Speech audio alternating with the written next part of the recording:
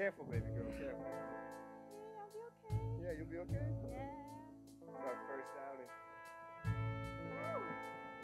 My God, Vienna looks beautiful tonight.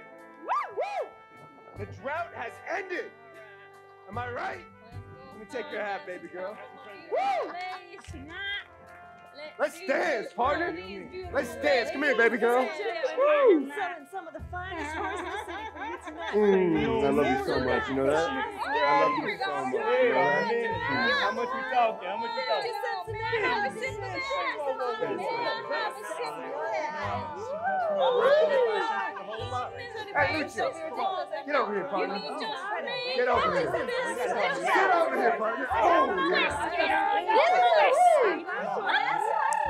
Yes, sir. Yes, sir. We love you, Vienna. Mm. Mm, more, more. Hey, come here, baby girl.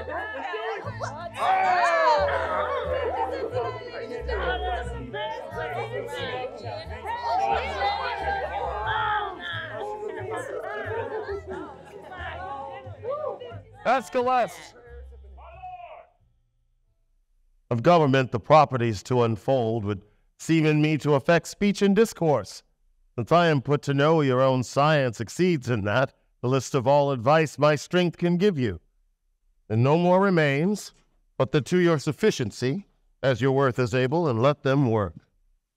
The nature of our people, our city's institutions, and the terms for common justice you're as pregnant in as art and practice hath enriched any that we remember.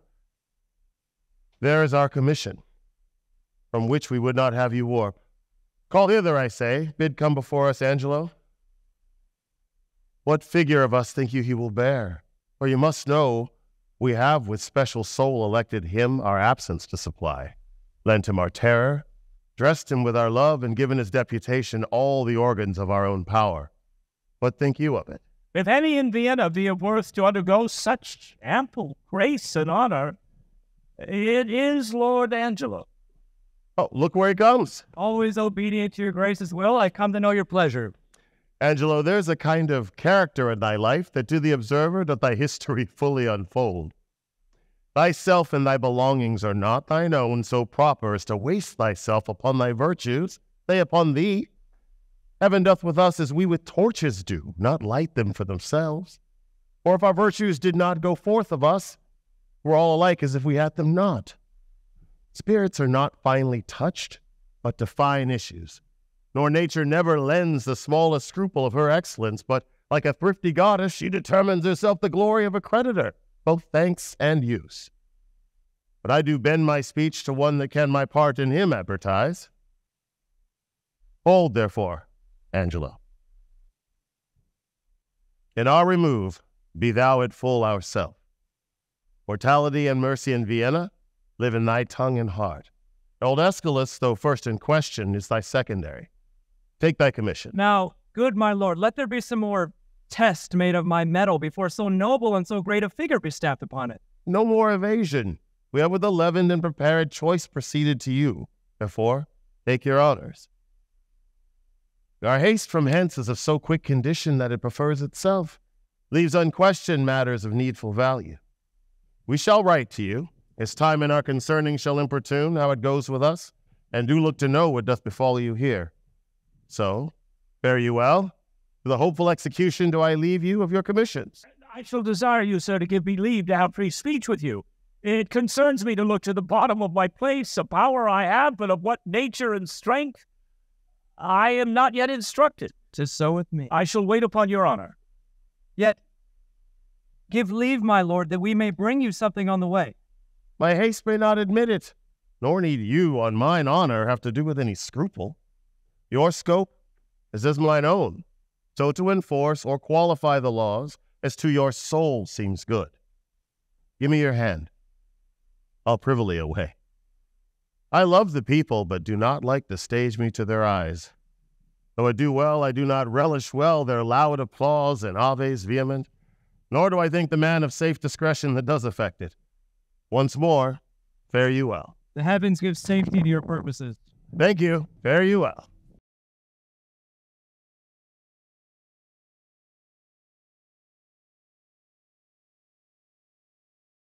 dear. There's someone. Oh, and we're not loitering. Let's go. We gotta go. Uh, hey. Okay, this is about selling the tobacco. I told you that was Lucio.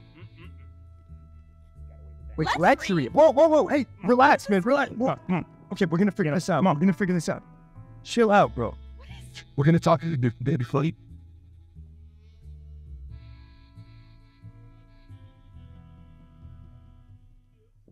Yonder man is carried to prison. Oh, what's she done?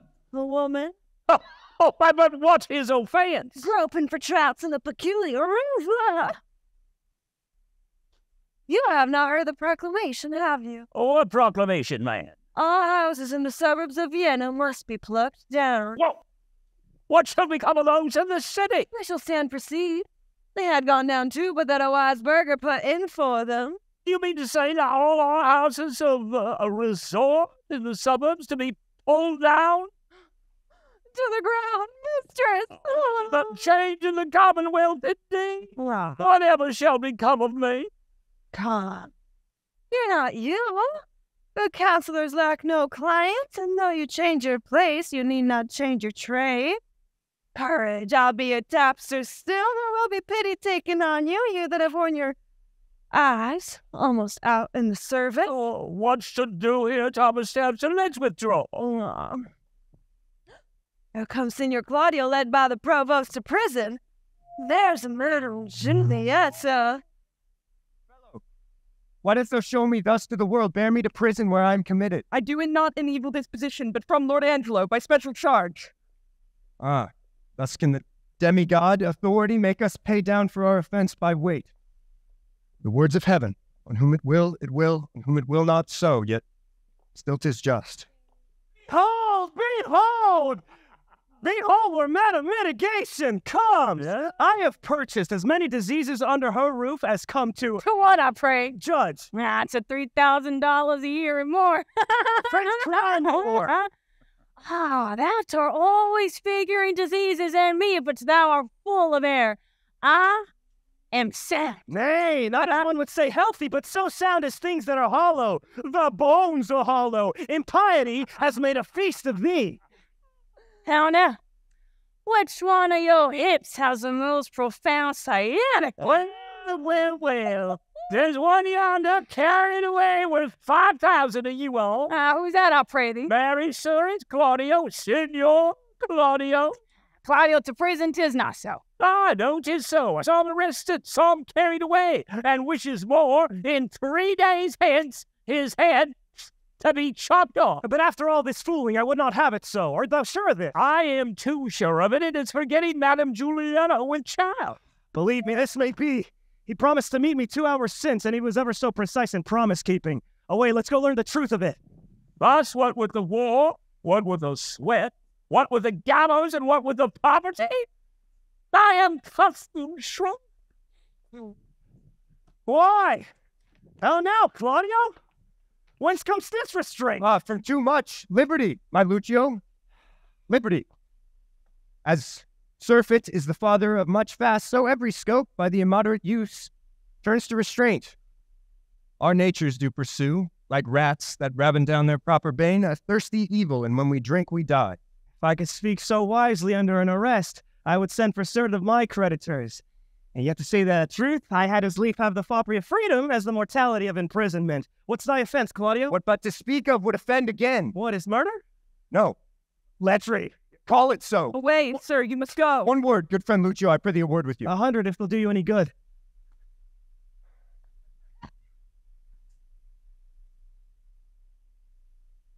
Is Lechery so looked after? Thus it stands with me. Upon a true contract, I got possession of Julietta's bed. You know the lady. She is fast my wife, save that we do the denunciation lack of outward order. This we came not to only for the propagation of a dower remaining in the coffers of her friends, from whom we found it meet to hide our love till time had made them for us, but it chances that the stealth of our most mutual entertainment, with character too gross, is writ on Juliet. With child, perhaps? Unhappily, even so. And the new deputy, now for the Duke, whether it be the fault and glints of newness, or that the body public be a horse, whereon the governor doth ride, who newly in the seat that it may know he can command lets it straight feel the spur. Whether the tyranny be in his place or in his eminence that fills it up, I stagger in, but this new deputy awakes me all the enrolled penalties, which have, like unscoured armor, hung by the walls so long that 19 zodiacs have gone round and none of them been worn. And for a name now puts the drowsy and neglected act freshly on me, tis surely for a name. I warrant it is. And thy head stands so tickle on thy shoulders that a milkmaid, if she be in love, should sigh it off. Send for the Duke and appeal to him. I've done so, but he's not to be found. I prithee, Lucio, do me this kind service. This day, my sister should the cloister enter and there receive her approbation. Acquaint her with the danger of my state. Implore her, in my voice, that she make friends to the strict deputy. Bid herself assay him. I have great hope in that, for in her youth there is a prone and speechless dialect such as move men. Besides, she hath a prosperous art when she will play with reason and discourse, and well she can persuade. I pray she may, as well for the encouragement of the like, which else would stand under grievous imposition. Yeah. As for the enjoying of thy life, who I would be sorry should thus be lost at a game of tic-tac. I'll to her, Thank thee, good friend Lucio. within two hours. Come, officer, away. No, Holy Father, throw away that thought. I believe not that the dribbling dart of love can pierce a complete bosom. Why desire thee to give me secret harbor hath a purpose more grave and wrinkled than the odds and aims of burning you? Will may your grace speak of it? My holy sir, none better knows than you how I've ever loved the life removed, held an idle price to haunt assemblies where youth and cost witless bravery keeps. I have, on Lord Angelo, delivered my absolute power and place here in Vienna. And he supposes me traveled to Poland, for so I have strewed it in the common ear, and so it is received. Now, pious sir, you will demand of me why I do this. Gladly, my lord. We have strict statutes, most biting laws, which for this fourteen years we have let slip, even like an o'ergrown lion in a cave that goes not out to prey. Now, as fond fathers, having bound up the threatening twigs of birch, only to stick it in their children's sight for terror, not to use. In time, the rod more mocked than feared. So our decrees, dead to infliction, to themselves are dead and liberty plucks justice by the nose. The baby beats the nurse, and quite a thwart goes all to quarrel. I rested in your grace to unloose this tide of justice as you please, and it in you more dreadful would have seemed than Lord Angelo. I do fear too dreadful. Sith 'twas my fault to give the people scope, would be my tyranny to strike and gall them for what I bid them do. Therefore, indeed, my father, I have on Angelo imposed the office, who may in the ambush of my name strike home, and yet my nature, never in the fight to do and slander. And to behold his sway, I will as twere a brother of your order visit both prince and people. Therefore, I prithee, supply me with the habit, and instruct me how I may formally in person bear like a true friar. Lord Angelo is precise, stands at a guard with envy, scarce confesses that his blood flows or that his appetite is more to bread than stone. Hence shall we see, if power change purpose, what our seamers be. No farther privileges? Are these not large enough? Yes, truly. I speak not as desiring more, but rather wishing a more strict restraint upon the sisterhood, the voters of St. Clare. Oh, peace be in this place! Whose calls? It is a man's voice. Gentle Isabella, turn you the key and know his business of him. You may, I may not. You are yet unsworn. When you have vowed, you must not speak with men, but in the presence of the prior. Peace and prosperity, who is that calls? Oh, hail, virgin, if you be, as those cheek roses proclaim you are no less. Could you so stead me as bring me to the sight of Isabella, a novice of this place, and the fair sister to her unhappy brother Claudio? Why her unhappy brother? Let me ask the rather, for now I must make you know I am that Isabella and his sister. Ooh, gentle and fair. Your brother kindly greets you. Uh, not to be weary with you, he is in prison. Woe me for what? For that which, if I may be his judge, he should receive his punishment and thanks. He had got his friend with child. Sir, make me not your story. Just true. I would not, though 'tis my familiar sin with maidens to seem the lopping and to jest. play with all virgins so. I hold you as a thing enskied and sainted by your renouncement, uh, an immortal spirit, and to be talked with in sincerity, as with a saint. You do blaspheme the good in mocking me. Do not believe it. Eunice in truth, tis thus. Your brother and his lover have embraced, as those that feed grow full. Even so, her plenteous womb expresseth his full tilth in husbandry. Someone with child by him? She My is. cousin Juliet? She it is. Oh, let him marry her. Well, this is the point. The Duke is very strangely gone from hence, and with full line of his authority governs Lord Angelo, a man whose blood is very snow broth, one who never feels the wanton stings and motions of the sense, but doth rebate and blunt his natural edge with profits of the mind. Study and fast. He to give fear to use, which have for a long run by hideous laws miced by lions, have picked out an act under whose heavy sense your brother's life falls into fortune. He arrests him on it and follows closely the rigor of the statute to make him an example. All hope is gone unless you have the grace, by your fair prayer, to soften Lord Angelo. And that's my pith of business twixt you and your poor brother. Doth he so seek his life? I've censured him already, and as I hear, the provost has a warrant for his execution. Alas, what poor abilities in me to do him good? Or say the power you have. My power? Alas, I doubt. Our doubts are traitors. Make us lose the good we oft might win by fearing to attempt. Go to Lord Angelo, and let him learn to know when maidens sue, men give like gods. But when they weep and kneel, all their petitions are as freely theirs as they themselves would owe them.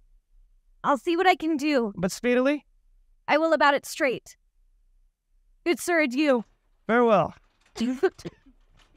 We must not make a scarecrow of the law, setting it up to fear the birds of prey and let it keep one shape till custom make it their perch and not their terror. But let us be keen.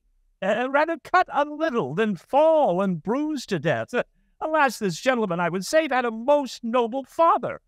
Uh, but let your honor know, whom I believe to be most straight in virtue, that in the workings of your own affections had time cohered with place or place with wishing, whether you had not at some time in your life erred in this point, would you now censure him and pull the law upon you? Tis one thing to be tempted, Escalus, another thing to fall. I not deny the jury passing on the prisoner's life may in the sworn twelve have a thief or two guiltier than him they try. What's open made to justice, that justice seizes. You may not so extenuate his offense, for I've had such faults, but rather tell me, when I that censure him do so offend, let mine own judgment pattern out my death, and nothing come impartial. Sir, he must die, be it as your wisdom will. Where is the provost? Here, if it like, Your Honor. See you that Claudio will be executed by nine tomorrow morning. Bring him his confessor, let him be prepared, for that's the utmost of his pilgrimage. Well, heaven forgive him. Forgive us all. Some rise by sin, some by virtue fall. Got you get away now, bro. Don't bring them away. If these be good people in a commonwealth that do nothing but use their abuses in the common houses, I know no law. Bring them away. How now, sir? What's your name and what's the matter? Oh, if it please your honor. I am the poor Duke's constable, and my name is Elbow. I do lean upon justice, sir, and bringing here before your good honor you notorious benefactors. Benefactors. Well, what benefactors are they? Are they not malefactors? If it please your honor. I know not well what they are, but precise villains they are, that I am sure of, and void of all profanation in the world all good Christians ought to have. What are you, sir? A sir? A tapster, sir, parcel blood, one that serves a bad woman whose house was, as they say, looked down in the suburbs. And now she professes a hot house, which I think is a very ill house, too. Uh, how know you that? Married, sir, by my wife, who, if she had been a woman cardinally given, might have been accused of fornication, adultery, and all uncleanliness there. By the woman's means. Ah, sir, by Mistress Overdone's means. But as she spit in his face, so she departed. Sir, if it please Your Honor, this is not so. Well, prove it before these varlets here, thou honorable man. Prove it. You hear how he misplaces. Sir, she came in great with child and longing, saving Your Honor's reverence for stewed prunes. Sir, we had but two in the house, which at that very distant time stood, as it were, in a fruit dish, a dish of some three pence, The honors have seen such dishes. They're not China dishes, but very fine. Go to, go to, no matter the dish, sir. No, indeed, sir. Not of a pin. You are there and in the right. But to the point, as I say, this Mistress Elbow being, as I say, with child and being great bellied and longing, as I said, for prunes and having but two in the house, which, as I said, Master Froth here, this very man here, having eaten the rest, as I said, as I say, paid for them very honestly, for, as you know, Master Froth, I could not give you threepence again. No, indeed. No, indeed, I'm telling you, if you be remembered, that such a one and such a one were past cure of the thing you wot of, unless, of course, they kept very good diet, as I told you. All this is true. Tom, you are a tedious fool to the purpose. What was done to Elbow's wife that he have cause to complain of? Come to me what was done to her. Sir, your honor cannot come to that. No, oh, no, no, I meant it not. Sir, but your honor shall come to it by your honor's leave. And I beseech your honor, look into Master Froth here. This man right here, a man of fourscore pound a year, whose father died at Hallowmas, was now Hallowmas Master Froth. Oh, hell indeed. Why, very well then. He, sir, sitting, as I say, in a lower chair. 'Twas in the bunch of grapes where indeed you have a delight to sit, have you not? Perhaps so, because it is an open room and good for winter. Why, very well then. I hope you be truths. This will last out a night in Russia when nights are longest there. Hmm. I'll take my leave and leave you to the cause, hoping you'll find good cause to whip them all. I think no less. Good morning, your worship. Now, come, sir. What was done to Elbow's wife once more? Once. Sir, was nothing done to her once. I beseech you, sir, ask this man what he did to my wife. Nay, I beseech your honor, ask me. Well, what did the gentleman to her? Your honor. Look upon this gentleman's face. Master Froth, look upon his honor, 'tis for a good purpose. Does your honor mark his face? I, sir, very well. Nay, I beseech your honor, mark it. Well, I do so. Does your honor mark any harm in his face? Uh, no. I'll be supposed upon a book. His face is the worst thing about him. Good then, if his face be the worst thing about him, how could Master Froth do the constable's wife any harm? I would know that of your honor. Uh, she's in the right, constable. What say you? Well, first, and it like you, the house is a respected house, and this man is a respected fellow, and his mistress a respected woman. Sir, by this hand, his wife is a more respected person than any of us all. Alliance, speaking about it, the time has yet come that she were ever respected by any given child. His wife is respected before he married with her. Mary, sir, I thank you for it. The, uh, What is your worship's pleasure shall I do with this wicked Kate? well, truly, officer, because he may have some offences in him, thou couldst find if thou would continue, let him continue in his courses till we know what they are. Mary, I thank your worship for it. Thou seest, thou wicked varlet, what's come upon thee? Thou art to continue now, thou varlet. Thou art to continue. Where were you born, friend? Uh, here in Vienna, sir. Are you a fourscore pound a year? Uh, yes, and it please you, sir. Uh, so, where, uh, what trade are you of, sir? A tapster, sir, a poor widow's tapster. Your mistress's name? Mistress Overdone. Has she had any more than one husband? Nine, sir. Overdone by the last. Nine. Come in, uh, Master Froth. Master Froth, I would not have you uh, acquainted with tapsters. They shall draw you, and you shall hang them. Now get you gone. Let me hear no more of you. Oh, oh, thank your worship. For my own part, I never come into any room in the top house, but I'm thrown in. Yes, well, no more of it, Master Froth. Farewell. Ah, Master Tapster. Come hither. What? Uh, what is your name, Master. Tapster? Uh, what else? Bum, sir. What, truly, your bum is the greatest thing about you. Though in the Beasley sense, you are Pompey the Great. Ha ha, Pompey. You are partly a bard, are you not? No, no, however, so you color it in being a tapster. Now you come, you tell me true. It shall be better for you. Truly, sir, I am a poor fellow that would live. And how would you live, Pompey? By being a bard? Is it a, a lawful trade? I mean, what do you think of the trade? It's a lawful trade if the law would allow it. But the law will not allow it, nor shall it be allowed in all of Vienna. Does your worship mean to geld and splay all the youths in the city? Uh, no, Pompey. Truly, sir, by my poor opinion, they will to it then. If your worship will take order for all the drabs and the knaves, you need not fear the blood. Oh, there are privy orders beginning, I can tell you. It's but heading and hanging. If you had and hang all that offend that way, but for tenure together, you'll be glad to give out a commission for more head. If this law hold in Vienna for tenure, I'll rent the fairest house in it after threepence a bay. If you live to see this come to pass, say that Pompey told you so. Thank you, good Pompey. And in requital of your prophecy, hark you. I advise you not to let me find you before me again under any complaint whatsoever. No, no, not for dwelling where you do. If I do, Pompey, I, uh, well, I shall beat you to your tent and prove a shrewd Caesar to you. In plain dealing, I shall have you whipped. So, with this time, Pompey, farewell.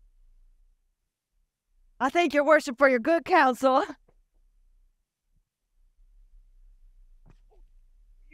But I shall follow it as the flesh and fortune shall better determine.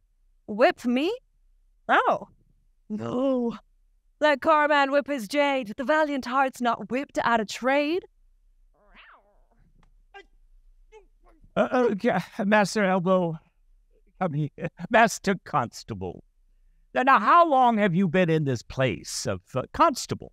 Seven year and a half, sir. Oh, I thought by your readiness you had continued in it some time. You say seven years together. And a half, sir. Well, it had given you great pains. No, they do you wrong to put you so oft upon it. Are there not men in your ward sufficient to serve it? Uh, faith, sir, few of any weight in such matters. As they are chosen, they are glad to choose me for them. I do it for some piece of money and go through with all.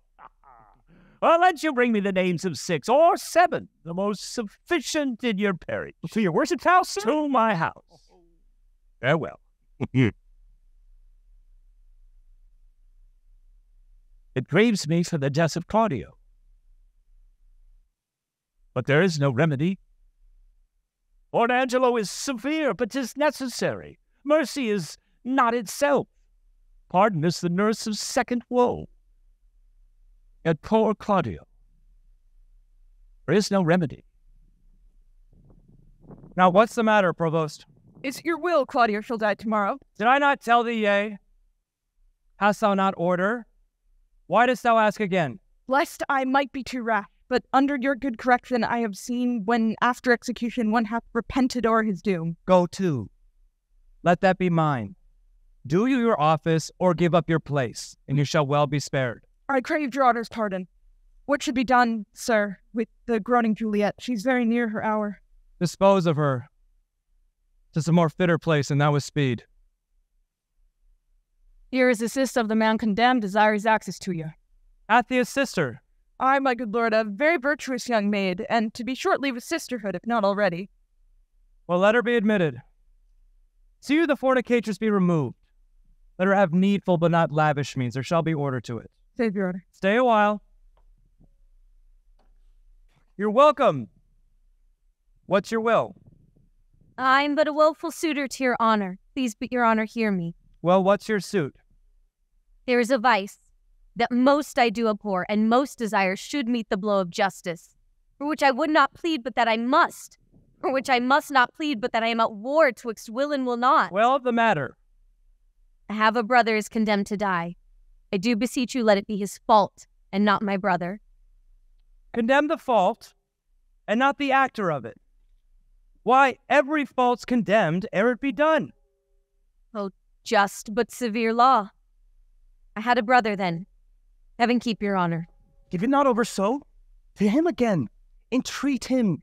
Kneel before his gown. You are too cold. If you should need a pin, you could not with more tame a tongue desire it. To him I say. Must he needs die? Maiden, no remedy. Yes. I do think that you might pardon him, and neither heaven nor man grieve at the mercy. I will not do it. But can you, if you would? Look what I will not do that I cannot do. But might you do it, and do the world no wrong, if so your heart were touched with that remorse as mine is to him? Be sentenced. Tis too late. You are too cold. Too late. Why, no, I that do speak a word may call it back again. Well, believe this, no ceremony that to great ones longs, not the king's crown, nor the deputed sword, the marshal's truncheon, nor the judge's robe, become them with one half so good a grace as mercy does. Had he been as you and you as he, you would have slipped like him. But he like you would not have been so stern. Pray you be gone.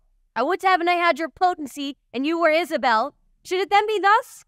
Why, no, I would tell what twere to be a judge and what a prisoner. Aye, touch him. There's the vein. Your brother is a forfeit of the law, and you but waste your words. Alas, alas, why, all the souls that were were forfeit once, and he that might the vantage best have took found out the remedy. How would you be if he which is the top of judgment should but judge you as you are? Oh, think on that, and mercy will then breathe within your lips like man you made. Be you content, fair maid. It is the law, not I, condemn your brother. Were he my kinsman, my brother, or my son, it should be thus with him. He must die tomorrow. Tomorrow? Well, that's sudden. Spare him. Spare him. He's not prepared for death. Even for our kitchens, we do kill the fowl of season. Shall we serve heaven with less respect than we do minister to our gross selves? Good, good, my lord, bethink you. Who is it that hath died for this offense? There's many have committed it. I well said. The law hath not been dead, though it hath slept. Those many had dare not do that evil if the first the addicted infringed answered for his deed.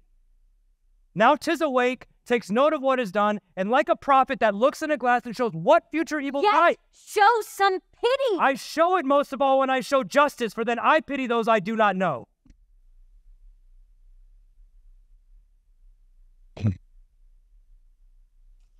Be content. He dies tomorrow.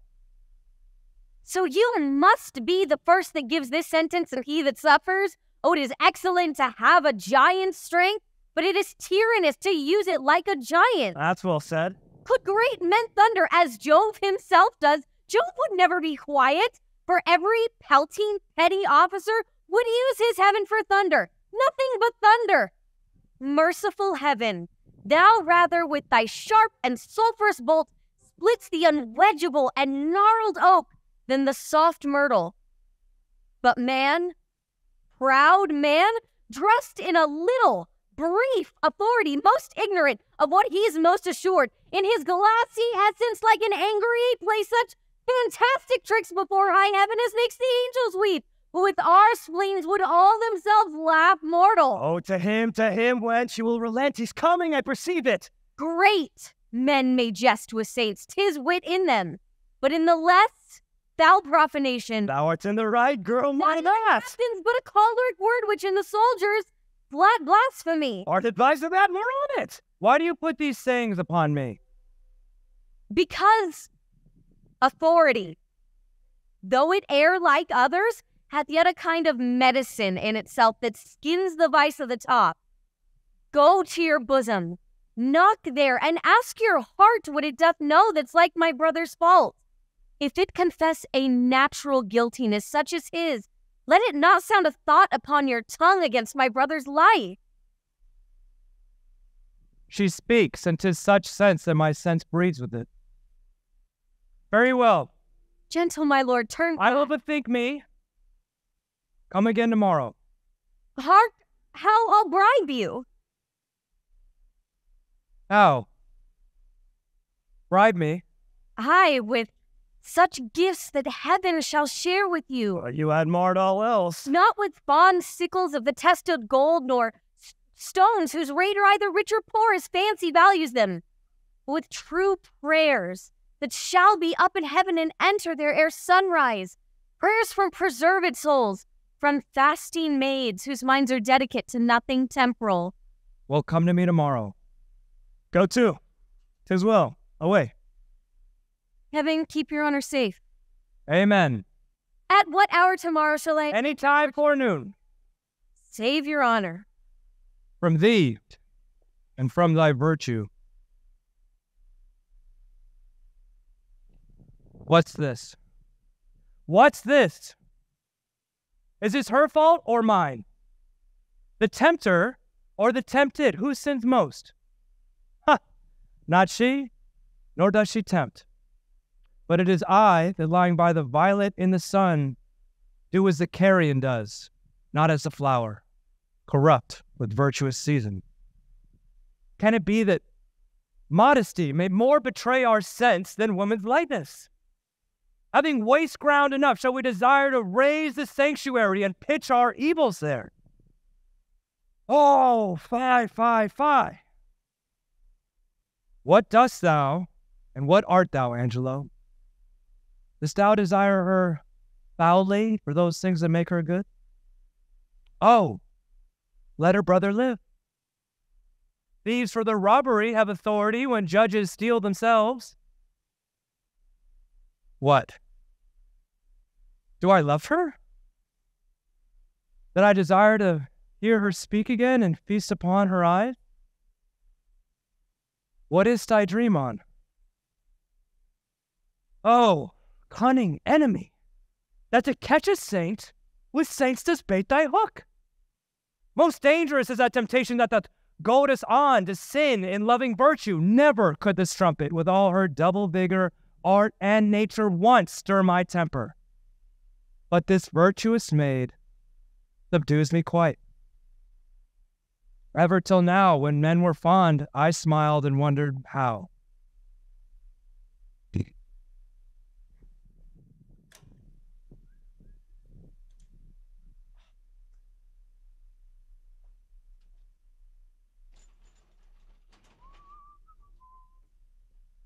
Well, hail to you, provost, so I think you are.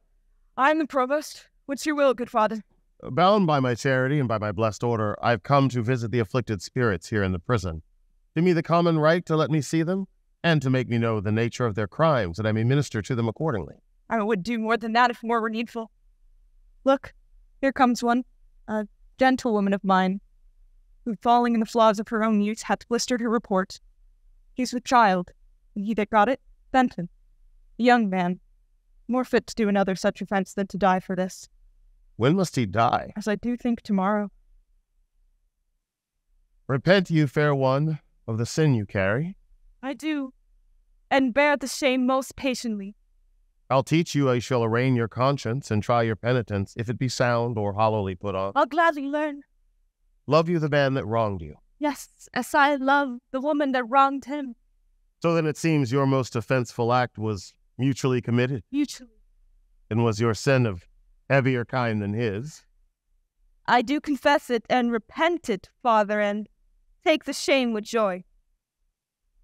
Your partner, as I hear, must die tomorrow, and I'm going with instruction to him. Grace go with you. Benedicite.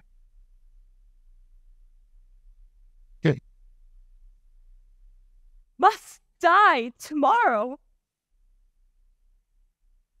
Oh, injurious love that respites me alive. This very comfort is still a dying horror. Is pity of him.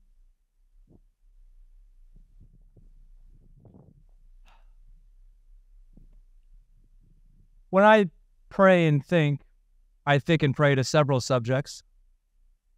Heaven hath my empty words, whilst my invention, hearing not my tongue, anchors on Isabel. God in my mouth, as if I did but only chew his name, and in my heart, the strong and swelling evil of my conception. The place whereon I studied is like a good thing being often read, grown sere and tedious.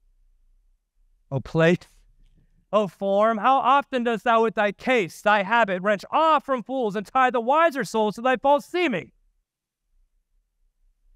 Blood. Thou art blood. Let's write good angel on the devil's horn. Is not the devil's crest? How now? Who's there? One Isabel, a sister, desires access to you. Teach her the way. Oh heavens. Why does my blood thus muster from my heart, making it both unable for itself and dispossessing all my other parts of necessary fitness?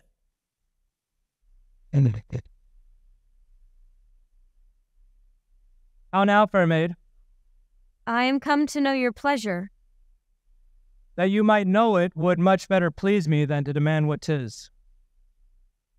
Your brother cannot live. Even so, heaven keep your honor.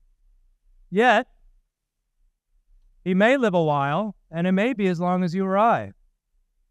Yet he must die. Under your sentence? Yea, When, I beseech you, that in his reprieve longer or shorter, he may be so fitted that his soul sicken not. fie these filthy vices. It were as good to pardon him that hath from nature stolen a man already made, as to remit their saucy sweetness to do coin God's image and stamps that are forbid. to set down so in heaven, but not in earth. Say you so? Then I shall pose you quickly. Which should you rather? That the most just law now took your brother's life, or to redeem him, give up your body to such sweet uncleanness as she that he has stained? Sir, believe this. I'd rather give my body than my soul.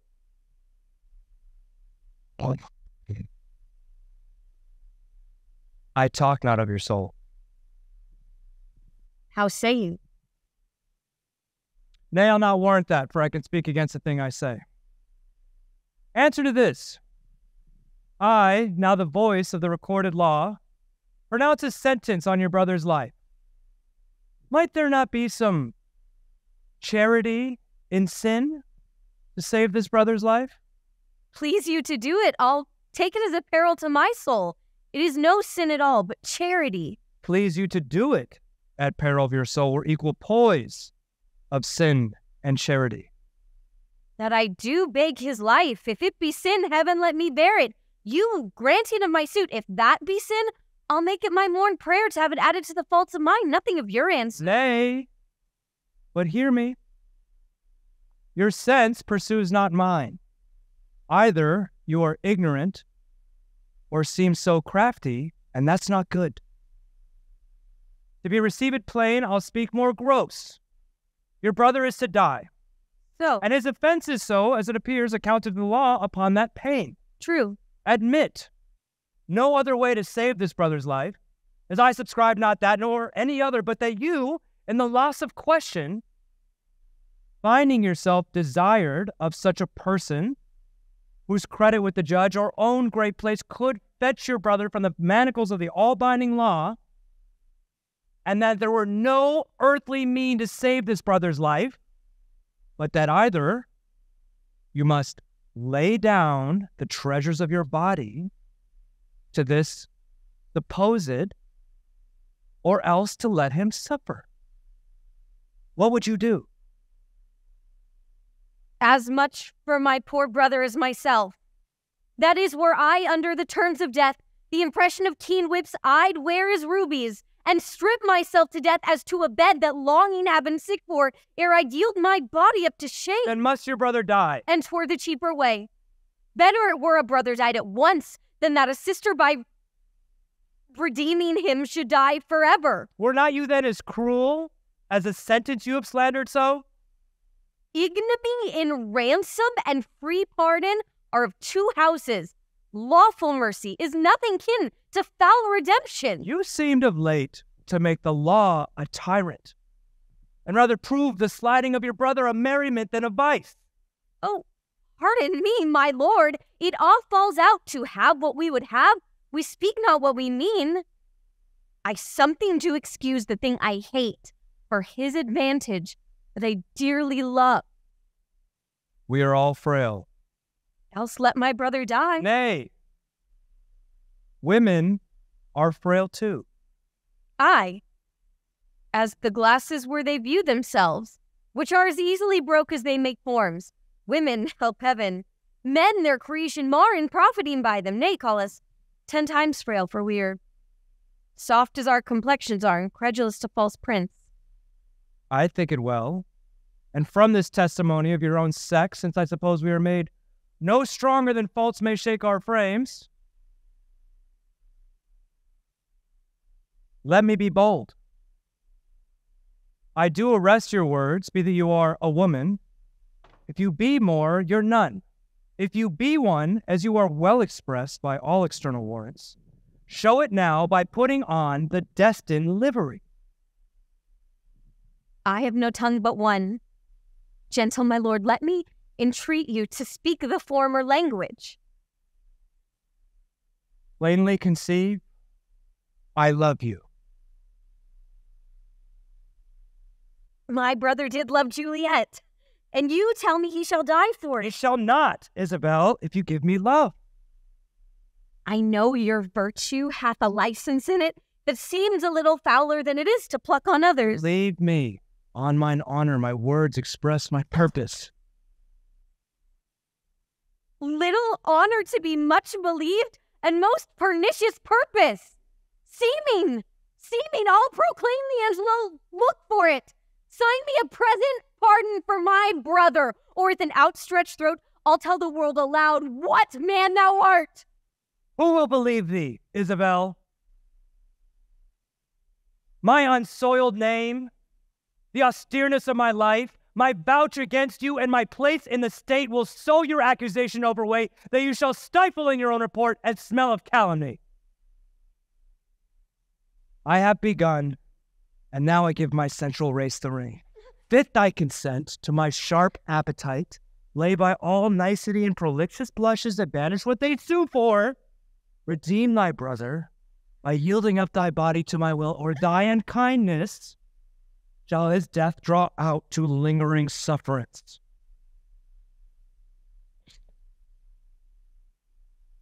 Answer me tomorrow, or by the affection that now guides me most, I'll prove a tyrant to him.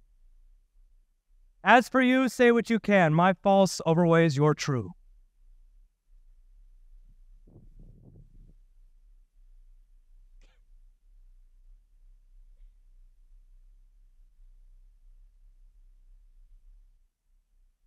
To whom should I complain?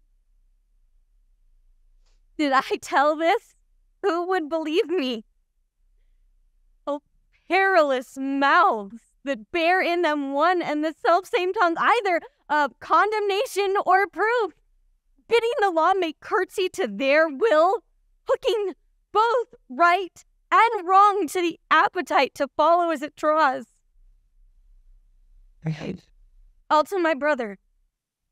Though he hath fallen by prompture of the blood, yet hath he in him such a mind of honor that had he twenty heads to tender down on twenty bloody blocks, he'd yield them up before his sister should her body stoop to such a poor pollution.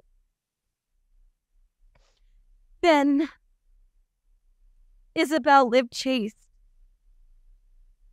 and brother die. More than our brother is our chastity. I'll tell him yet of Angelo's request and fit his mind to death for his soul's rest.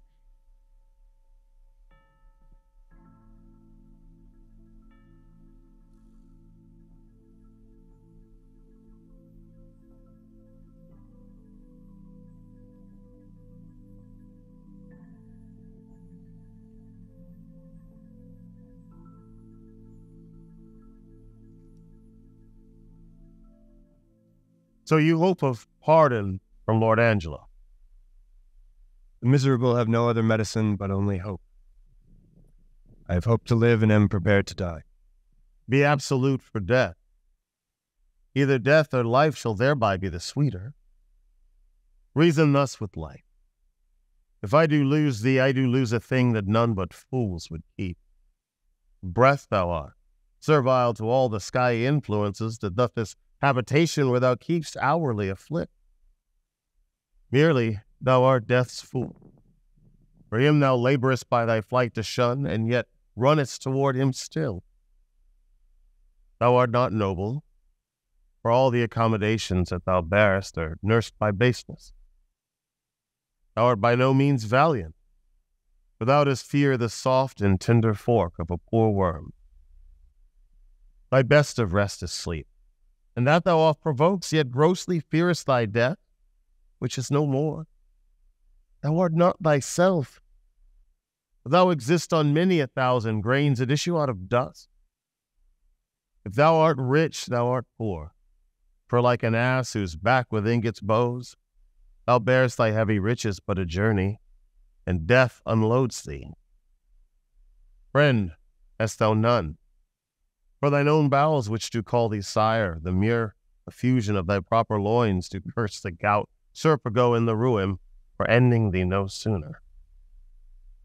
What's yet in this that bears the name of life? Yet in this life lie hid more thousand deaths. Yet death we fear, that makes these odds all even. Hmm. Thank you. So to live, I find I seek to die. And seeking death, find life. Let it come on. What ho! Peace here, grace and good company. Who's there? Come in. The wish deserves a welcome. Dear sir, ere long I'll visit you again. Most holy sir, I thank you. My business is a word or two with Claudio. And very welcome. Look, signor, here's your sister. Provost, a word with you. As mine as you please. Bring me to hear them speak where I may be concealed.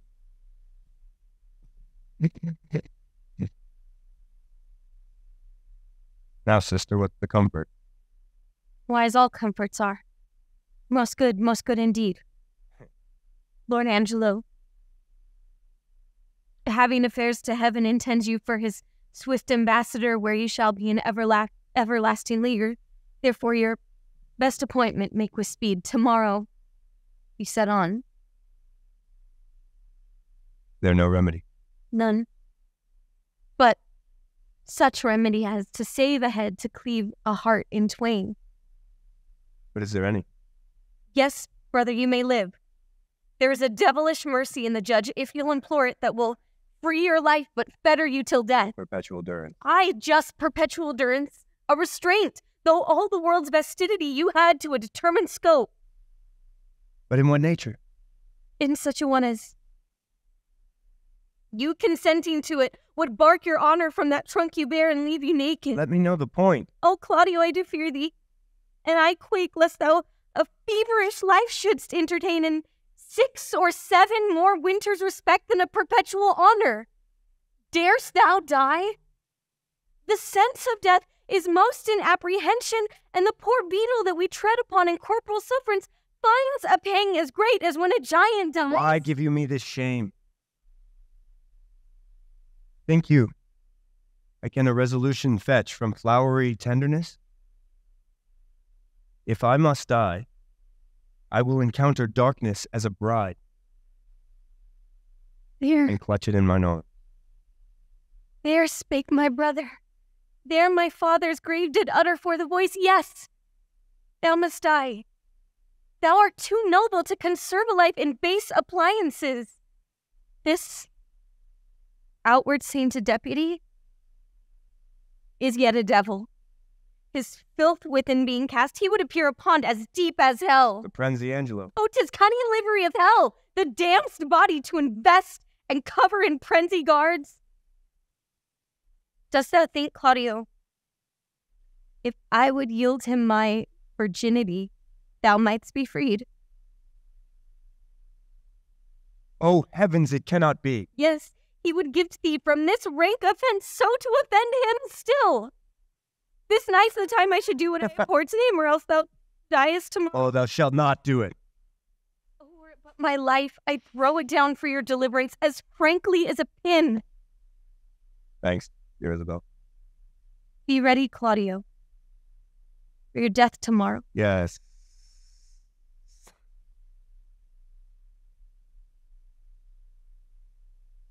I see affections in him that thus can make him bite the law by the nose when he would force it.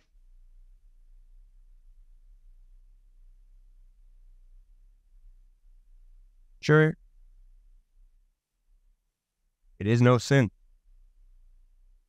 Or, of the deadly seven, it is the least. Which is the least?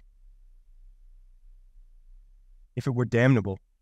He being so wise, why would he, for the momentary trick, be perdurably fined, O Isabel? What says my brother? Death is a fearful thing. And shamed life I hate Oh! all. But to die and go we know not where? to lie in cold obstruction and to rot this sensible, warm motion to become a needed clod and the delighted spirit? To bathe in fiery floods? Or to reside in thrilling region of thick ribbed ice? To be imprisoned in the viewless winds and blown with restless violence round about the pendant world, or to be worse? And worst of those, that lawless and uncertain thought. Imagine howling. It's too horrible. The weary and most loathed worldly life that age, ache, penury, and imprisonment can lay on nature is a paradise to what we Alas, fear of death. alas. Sister, let me live. What sin you do to save a brother's life, nature dispenses with the deed so far that it becomes a virtue. Oh. Huh? You beast! Oh, faithless coward! Dishonest wretch, wilt thou be made a man out of my vice? It's not a kind of incest to take a life from thine own sister. Shame, what should I think? Heaven's shield! My mother played my father fair, for such a warped slip of wilderness ne'er issued from his blood. Take my defiance, die, perish.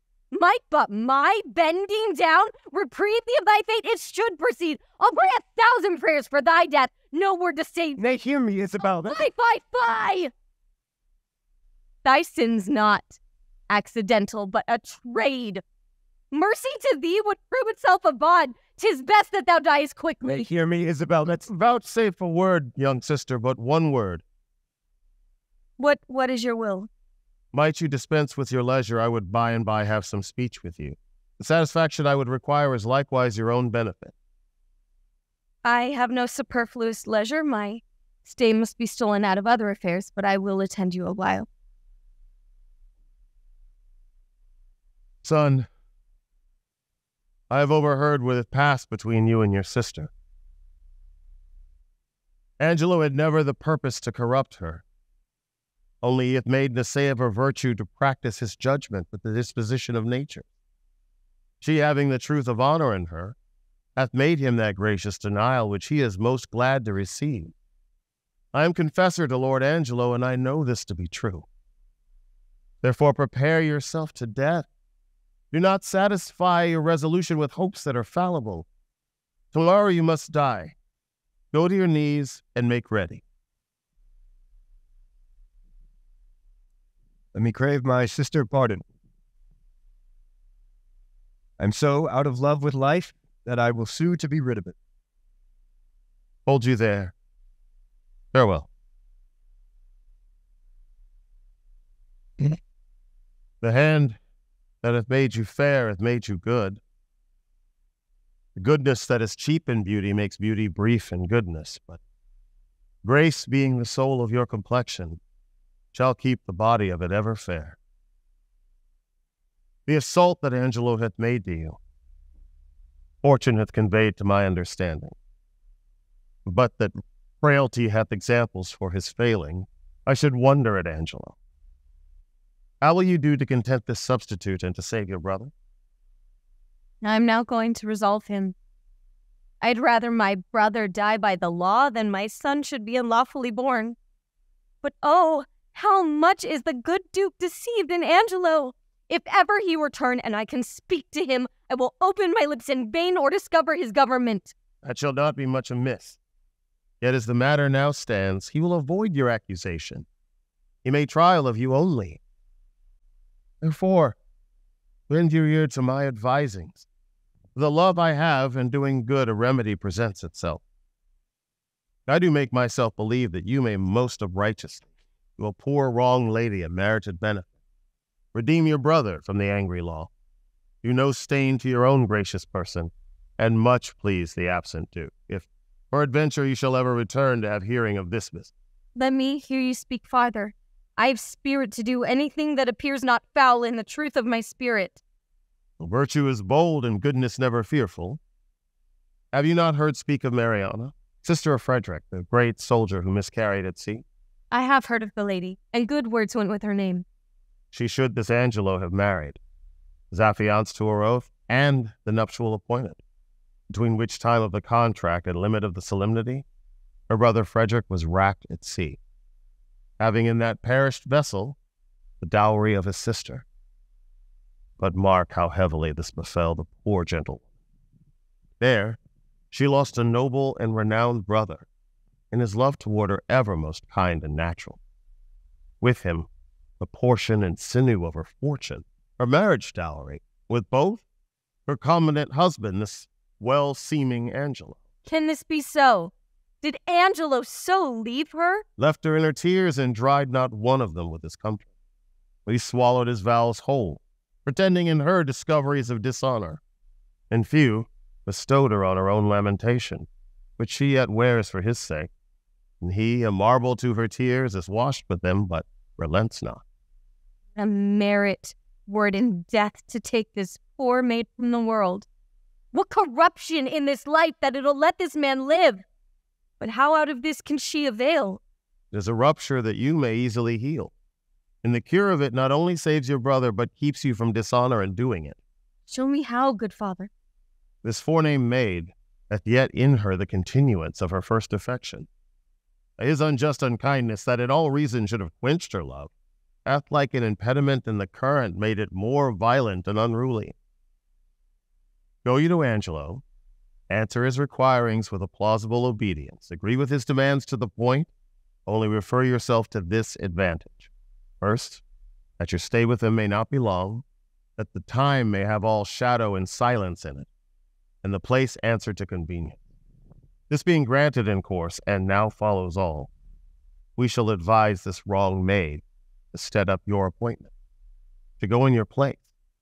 Now, if the encounter acknowledge itself hereafter, it may compel him to her recompense. And here by this is your brother saved, your honor untainted, the poor Mariana advantaged, and the corrupt deputy scaled. The maid will I frame and make fit for his attempt, if you think well to carry this as you may. The doubleness of the benefit defends the deceit from reproof. What think you of it? The image of it gives me content already, and I trust it will grow to a most prosperous perfection.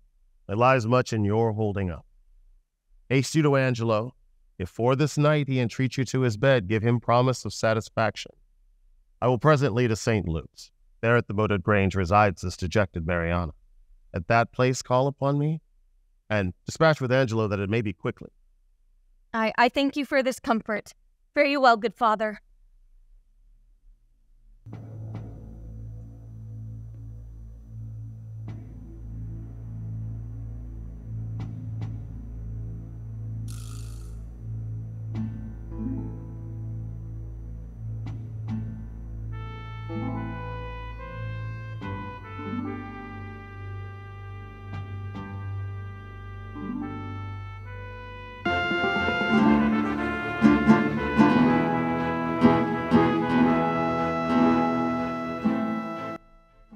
You know, you're. Nay, there ain't no remedies for it, but as you will need bad sell men and women like this, we shall have the whole braintree brown and white bastard. Oh heavens, what stuff is here? Was never merry world since of two usury the merriest was put down and the worst are allowed by order of law for gown to keep it warm. I'm your waster, but bless you, good father friar. And you, good brother father. What offense hath this man made you, sir? Marry, sir, he hath offended the law. And, sir, we take him to be a thief too, sir, for we have found upon him, sir, a strange picklock, which we have sent to the deputy. By sirrah, bawd, a wicked bawd. Canst thou believe thy living is a life so stinkingly depending? Go mend, go mend. Mary started dusting. Nay, the devil have given thee proofs for sin, thou wilt prove his. Take him to prison, officer. You must before the deputy, sir. He has given him warning. The deputy cannot abide a whoremaster. If he be a whoremonger that comes before him, he were as good go a mile on his errand. His neck will come near waist. The court, sir. I spike him where I cry bail. Here comes a gentleman in a friend of mine. How now, noble Pompey? What, at the wheels of Caesar? Art thou led in triumph? Are there none of Pygmalion's images, newly made woman, to be had now for putting the hand in the pocket and extracting a clutch? What? Reply, huh? What sayest thou to this tune, matter, and method? It's not drowned in the last rain? What sayest thou, Trot? Is the world as it was, man? Which is the way? Is it sad in few words, or how the trick of it? How doth my dear morsel, thy mistress, procure she still? Troth, sir, she hath eaten up all her beef, and she herself is in the tub. Why, 'tis good, having a fresh whore and powdered bawd, an unshunned consequence. It must be so. Art going to prison, Pompey? Yes, faith, sir. Why, 'tis not amiss. Farewell, Pompey, go say I sent thee thither. For debt, Pompey, or how? For being a bawd. For being a bawd. Well, then, imprison him.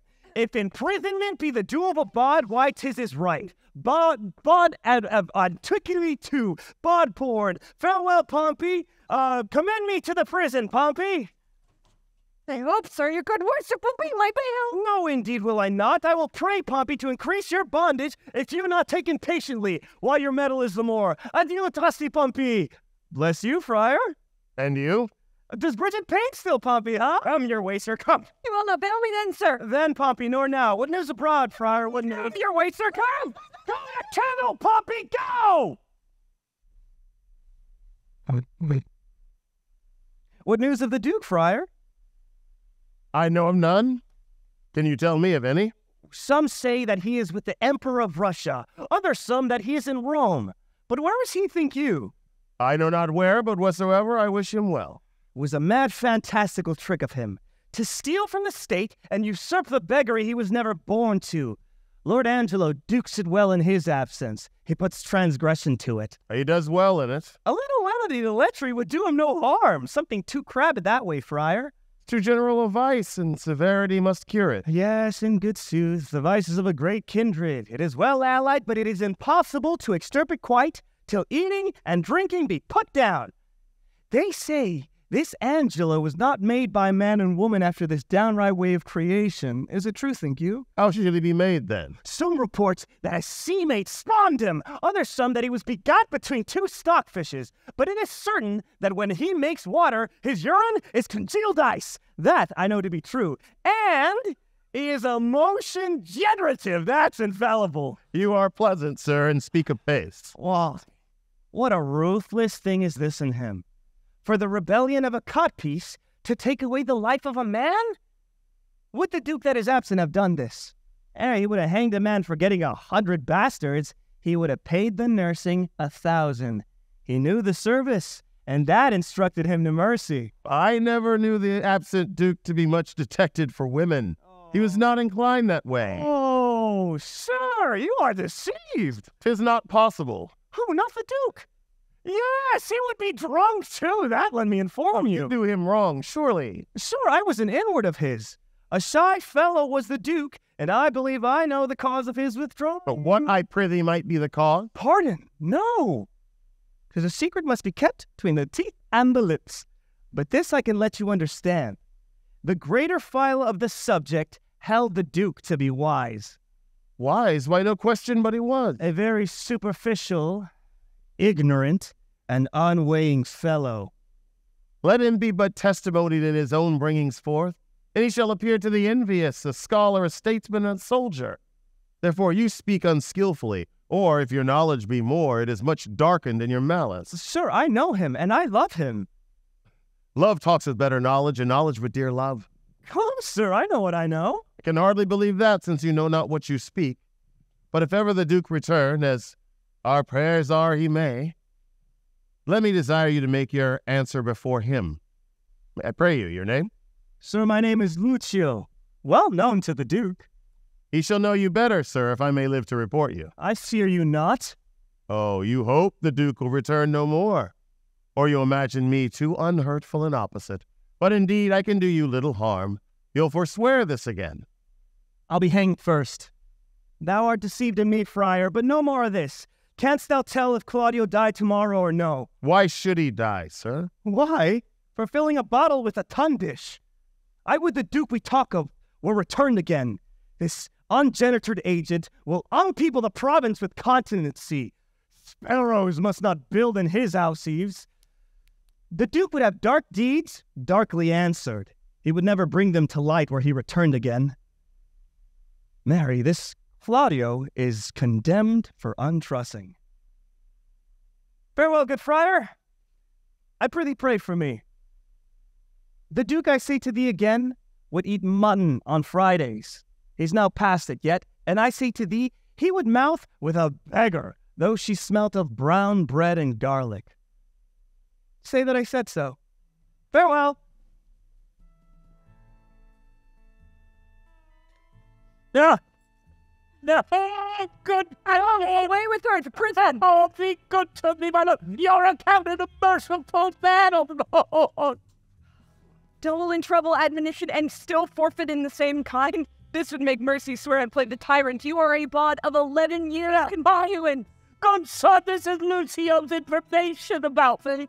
Mistress Kate Keepdown had a child by him in the Duke's time. Oh, that child is now a year and a quarter old. Come Philip and Jacob, and I have kept him myself. And you see how he goes about to abuse me. Now, Lucio is a fellow of much license. Let him be called before us.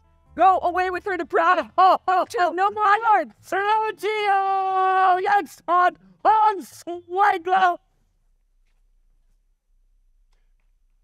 No might nor greatness and mortality can censor scape. Back wounding calumny the whitest virtue strikes. What king so strong can tie the gall up in a slanderous tongue? But who comes here? Provost. I.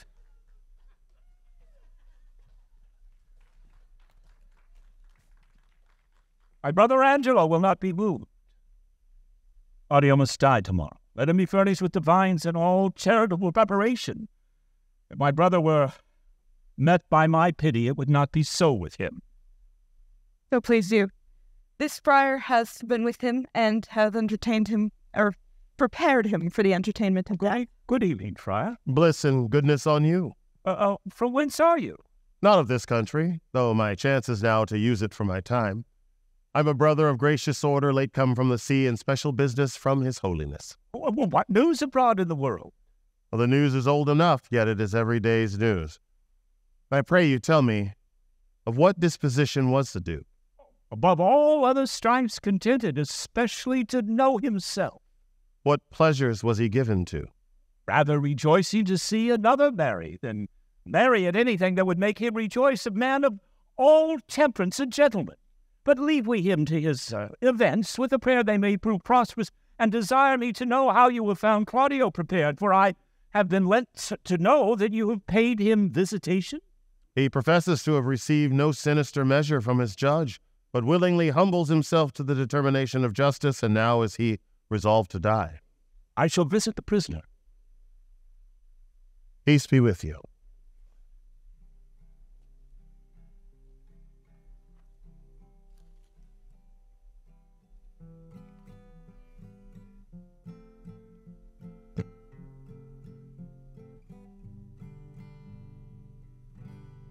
Take, oh, take those lips on way that so sweetly will pass away. And those eyes, the break of day, likes that to mislead the one. But my kisses, bring again, bring again. Seals of wall, but sealed in vain, sealed in vain. Break up thy song and haste thee quick away. Here comes a man of comfort whose advice hath often stilled my brawling discontent. I cry you mercy, sir, and well could wish you had not found me here so musical. Let me excuse me and believe me so my mirth and my mirth it much displeased, but pleased my woe. Oh, 'tis good, though music oft hath such a charm to make bad good and good provoke to harm. I pray you tell me, hath anybody inquired for me here today? Much upon this time have I promised here to meet. You've not been inquired after. I have sat here all morning. I do constantly believe you. Time is even now. I shall crave your forbearance a little. Maybe I will call upon you anon for some advantage to yourself. I am always bound to you. Very well met and welcome. What is the news from this good deputy? He hath a garden circummured with brick. There have I made my promise upon the heavy middle of the night to call upon him. Shall you on your knowledge find this way? He did show me the way twice o'er, and that I have possessed him my most stay can be but brief, for I have made him know I have a servant comes with me along that stays upon me, whose persuasion is I come about my brother. Well borne up. I have not yet made known a word of this to Mariana. Come forth. I pray you, be acquainted with this maid. She comes to do you good. I do desire the like. Do you persuade yourself that I respect you? Good friar, I know it and have found it. Take then this your companion by the hand, who hath a story ready for your ear. I shall attend your leisure, but make haste. The vaporous night approach. Will it please you walk aside? Oh, place and greatness. Millions of false eyes are stuck upon me. Volumes of report run with these false and most contrarious quest upon my doing. A thousand scapes of wit make me the father of their idle dream and rack me in their fantasies. Welcome. How agreed? She'll take the enterprise upon her, father, if you advise it. Uh, It is not my consent, but my entreaty too. Little have you to say when you depart from him, but soft and low, remember now my brother. Fear me not. Nor, gentle daughter, fear you not at all. He is your husband on a pre-contract. To bring you thus together, 'tis no sin. Sit that the justice of your title to him doth flourish the deceit. Come, let us go. Our corns to reap, for yet our tithes to sow.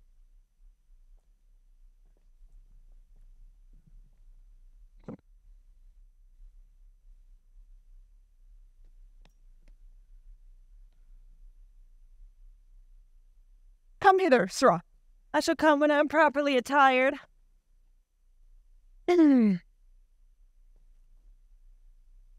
you have a question for me? Sirrah, can you cut off a man's head? Sir, if the man be a bachelor, sir, I can. But if he be a married man, it's his wife's head, and I can never cut off a woman's head. Come, sir, leave me your snatches and yield me a direct answer. Tomorrow morning are to die Claudio and Barnardine. Here is in our prison a common executioner who in his office lacks a helper. You shall take it on you to assist him and shall redeem you from your gibes. If not, you shall have your full time of imprisonment and your deliverance with an unpitied whipping, for you've been a notorious bawd. Sir, I have been an unlawful bawd time out of mind, but yet, sir, I will be content to be a lawful hangman. I'd be glad to receive some instruction from my fellow partner. But oh, Abhorson! Where's the Abhorson there? You call, sir? Sir, uh, here's a fellow who will assist you in tomorrow's execution. If you think it meet, compound with him by the year and let him abide here with you.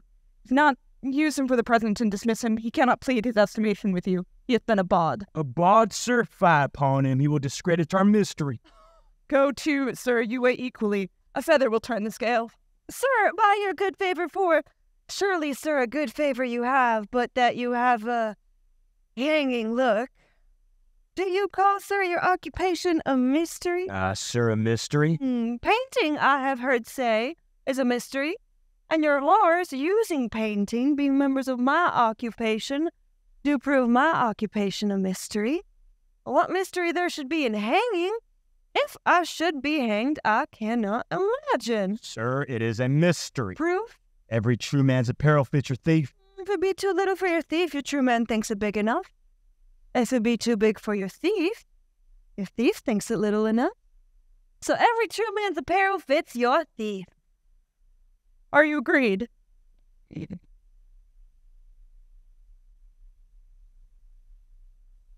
Sir, I will serve him, for I do find your hangman a more penitent trade than your bard.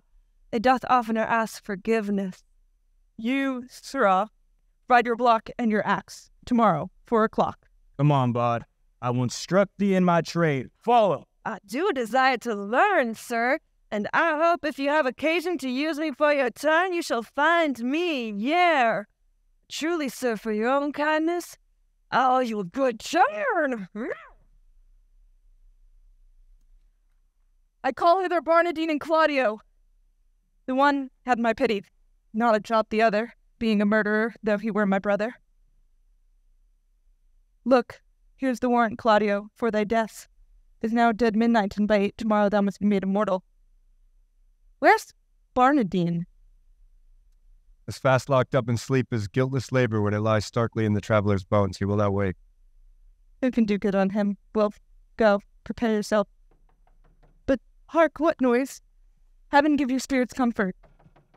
By and by. I do hope it is some pardon or reprieve for the most gentle Claudio. Welcome, Father. Best and wholesomest spirits of the night envelop you, good provost.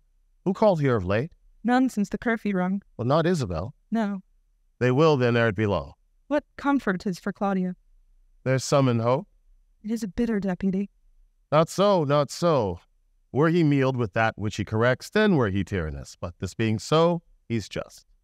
There he must stay until an officer arrives to let him in. He is called up. Have you no counterman for Claudio yet, but he must die tomorrow? None, sir, none.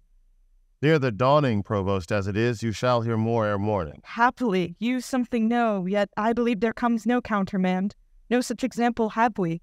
Besides, upon the very siege of justice, Lord Angelo hath to the public ear professed the contrary. Now are they come. This is a gentle provost. Tell them when the steeled jailer is the friend of men. This is his lordship's man. And here comes Claudio's pardon. My lord, I say you this note and by me this further charge, that ye swerve not from the smallest article of it, neither in time, matter, nor circumstance. Good morrow, for as I take it, it's almost day. I shall obey him. Pray you, let's hear. Whatsoever you may hear to the contrary, let Claudio be executed by four of the clock, and in the afternoon Barnardine. For my better satisfaction, let me have Claudio's head sent me by five. Let this be duly performed with the thought that more depends on it than we must yet deliver. Thus fail not to do your office, as you will answer it at your peril.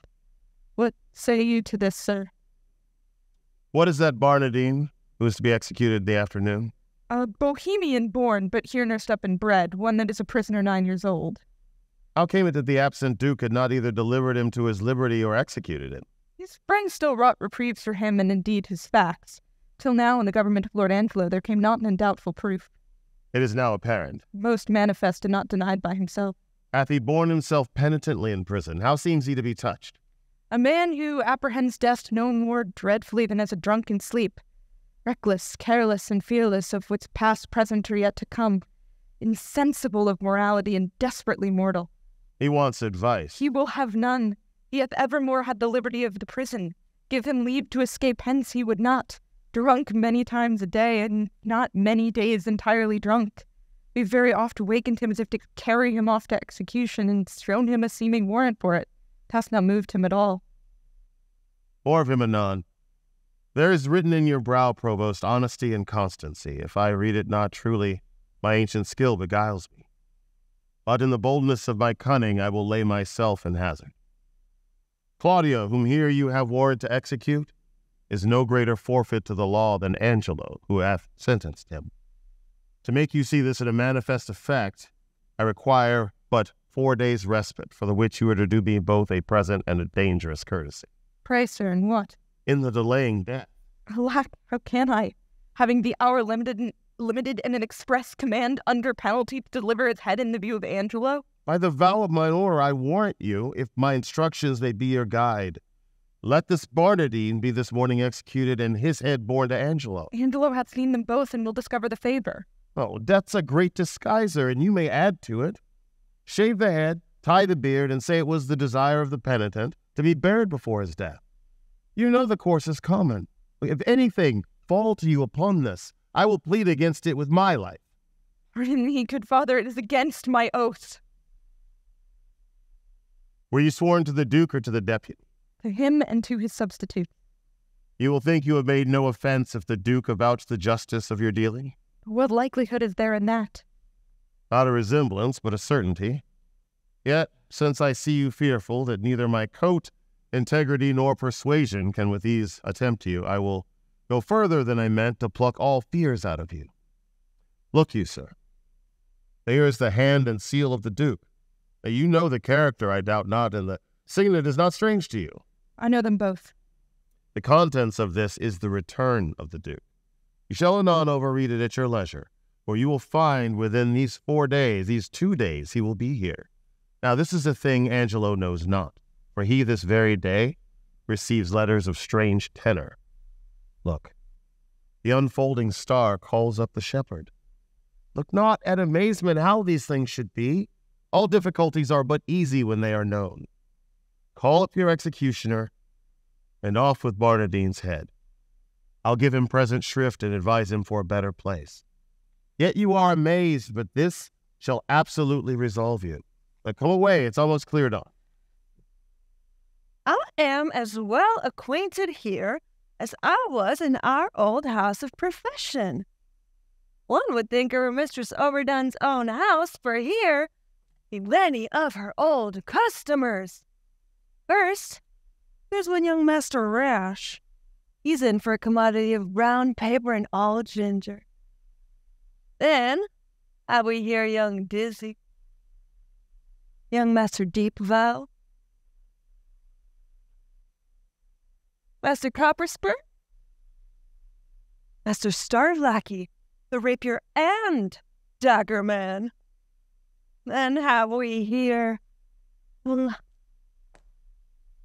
Halfcan that stabbed Lusty Pudding, and I think forty more, all great doers in our profession, and are all for the Lord's. Hurrah! Bring Barnardine hither. Master Barnardine! You must arise and be hung, Master Barnardine! What oh, Barnardine? Ah! ¡Viruela pa' tu garganta! ¿Quién puñetas está haciendo ruido? Master Barnardine? Is your friend the hangman, Master Barnardine? Uh? You must be so good, Master Barnardine, as to rise and be put to death. Uh, ay, coge pa' allá. Tengo sueño. Him he must awaken that quickly too. Master Barnardine, arise till you are executed and sleep afterwards. Go into him and fetch him out. He is coming, sir. He is coming. I hear his straw rustle. Is the axe upon the block, sirrah? Very ready, sir. ¡Qué la, qué amor son! ¿Qué noticias me tiene? Truly, sir, I would desire you to clap into your prayer. We're looking now. The warrants come. Cabrón, yo me pasé bebiendo toda la noche. Yo no voy a hacer eso. All the better, sir. He that drinks all night and is hanged betimes in the morning sleeps all the sounder the next day. Looking now. Here comes your ghostly father. We just now think you?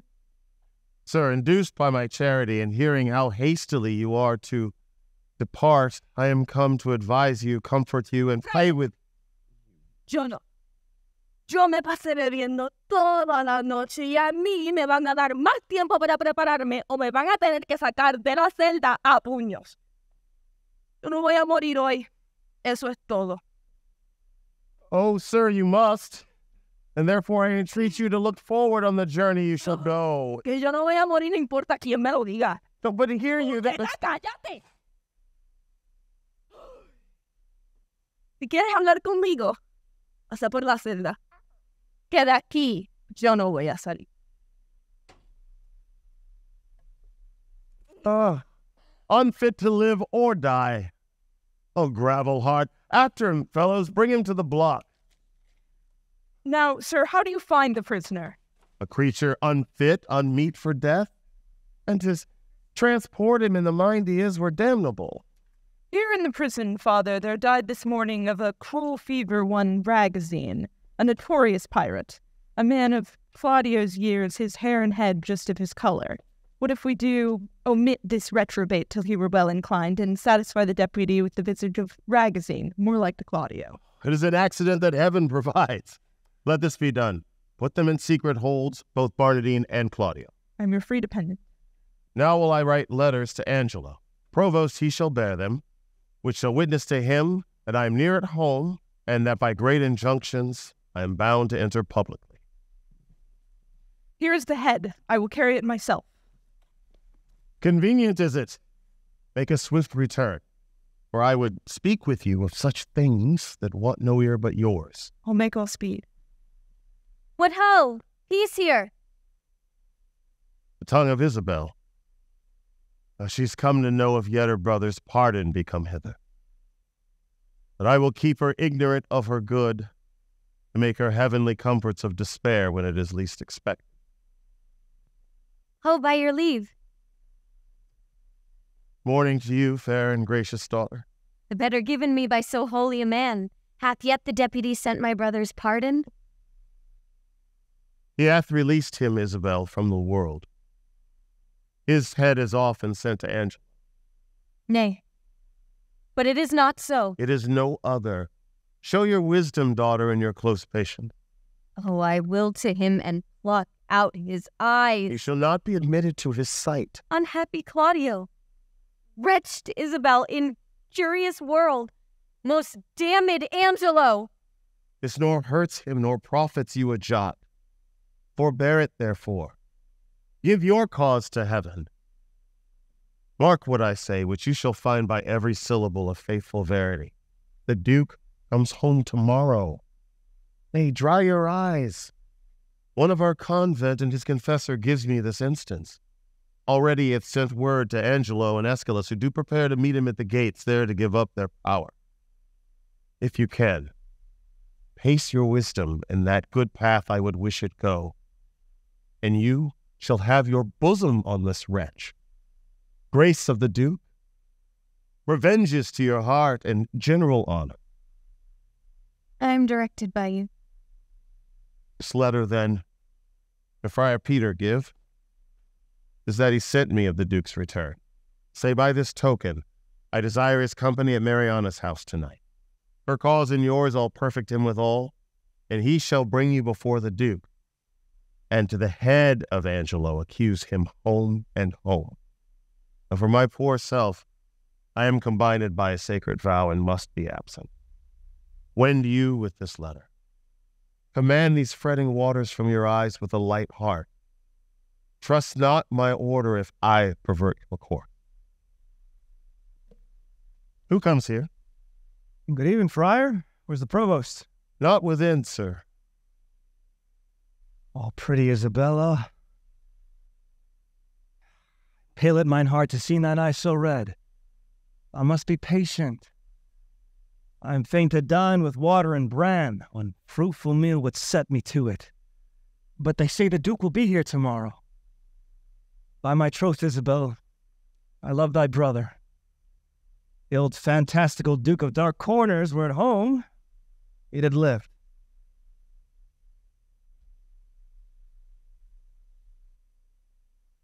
Sir, the Duke is marvelous little beholding to your reports. But the best is he lives not in them. Friar, thou knowest not the Duke as well as I do. He's a better woodsman than thou takest him for. Well, you'll answer for this one day. Fare you well. Uh, nay, Terry, I'll go along with thee. I can tell thee pretty tales of the Duke. You have told me too many of him already, sir, if they be true. If not true, none were enough. I was once before him for getting a wench with child. Did you such a thing? Yes, marry did I. I was fain to forswear it. They would have else had me marry the rotten meddler. Sir, your company is fairer than honest. Rest you well. By my troth, I'll go along with thee to the lane's end. If body talk offend you, we'll have very little of it. Nay, friar, I am a kind of burr. I shall stick. Every letter he hath writ disvouch the other. In most uneven and distracted manner, his actions show much like to madness. Pray heaven his wisdom be not tainted, and why meet him at the gates and deliver our authorities there? I guess not. And why should we proclaim that within an hour before his entering that if any crave redress of injustice, they should exhibit their petitions in the street? Oh, he gave his reasons for that, uh, to have a dispatch of complaints and to deliver us from devices hereafter, which they'll then have no uh, power to stand against us. Well, let it be proclaimed. The times in the morn I'll call you your house. Give notice to such men of sword and suit as are to meet him. I shall, man. Good night. This deed unshapes me quite, makes me unpregnant and dull to all proceedings. A deflowered maid, and by an eminent body that enforced the law against it. But that her tender shame will not proclaim against her maiden loss, how might she tongue me? He should have lived, save that his riotous youth might in the times to come obtain revenge by so receiving a dishonored life of ransom with such shame would yet he had lived. Alack, when once our grace we have forgot, nothing goes right. We would and we would not. These letters at fit time deliver me. Provost knows our purpose and our plot. The matter being afoot, keep your instruction and hold you ever to our special drift. Though sometimes you do blench from this, for that is cause doth minister. Shall be speeded well. To speak so indirectly, I am loath. I would see the truth, but to accuse him so, that's your part. Yet I am advised to do it. He says to veil full purpose. Be ruled by him. Besides, he tells me that if peradventure he should speak against me on the adverse side, I should not think it strange, for 'tis a physic that's bitter to sweet end. I would, Friar Peter. Oh, peace the friars come. Come, I have found you out to stand most fit, where you may have such vantage on the Duke he shall not pass you. Twice the trumpets have sounded, the generous and gravest citizens have hent the gates, and very near upon the Duke is entering. Therefore, hence away.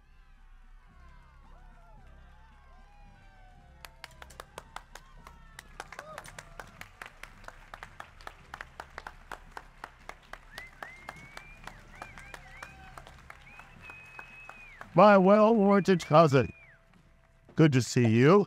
My old and faithful friend, we're happy to see you. Praise be to your all great. Praise be to your royal grace.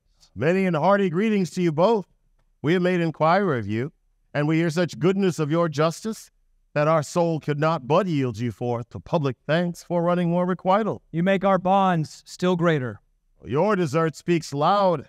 Give me your hand, and let the subjects see to make them know that outward fancies would fain proclaim favors that keep within. Come, Escalus. You must walk by us on our other hand, and good supporters are you. Now is your time to speak loud and kneel before him. Justice, O royal duke, veil your regard upon a wronged. I would fain have said a maid. O worthy prince, dishonor not your eye by throwing it on any other object till you have heard me in my true complaint and given me justice. Justice, justice, justice! Relate your wrongs, and what, by whom? Be brief. Here is Lord Angelo shall give you justice. Reveal yourself to him. O worthy duke, you bid me seek redemption of the devil. Hear me yourself, for that which I must speak must either punish me not being believed or wring redress from you. Hear me, oh, hear me, hear. My lord, her wits, I fear me, are not firm. She hath been a suitor to me on behalf of her brother, caught up by course of justice. By course of And justice? he will speak most bitterly and strange. most strange, but yet most truly will I speak. That Angelo's forsworn, is it not strange? That Angelo's a murderer, is not strange? That Angelo's an adulterous thief and hypocrite, a virgin violator, is not strange and strange? Nay, it is ten times strange. It is not true, or he is Angelo. Then all this is as true as it is strange. Nay, it is ten times true, for truth is truth, to the end of reckoning.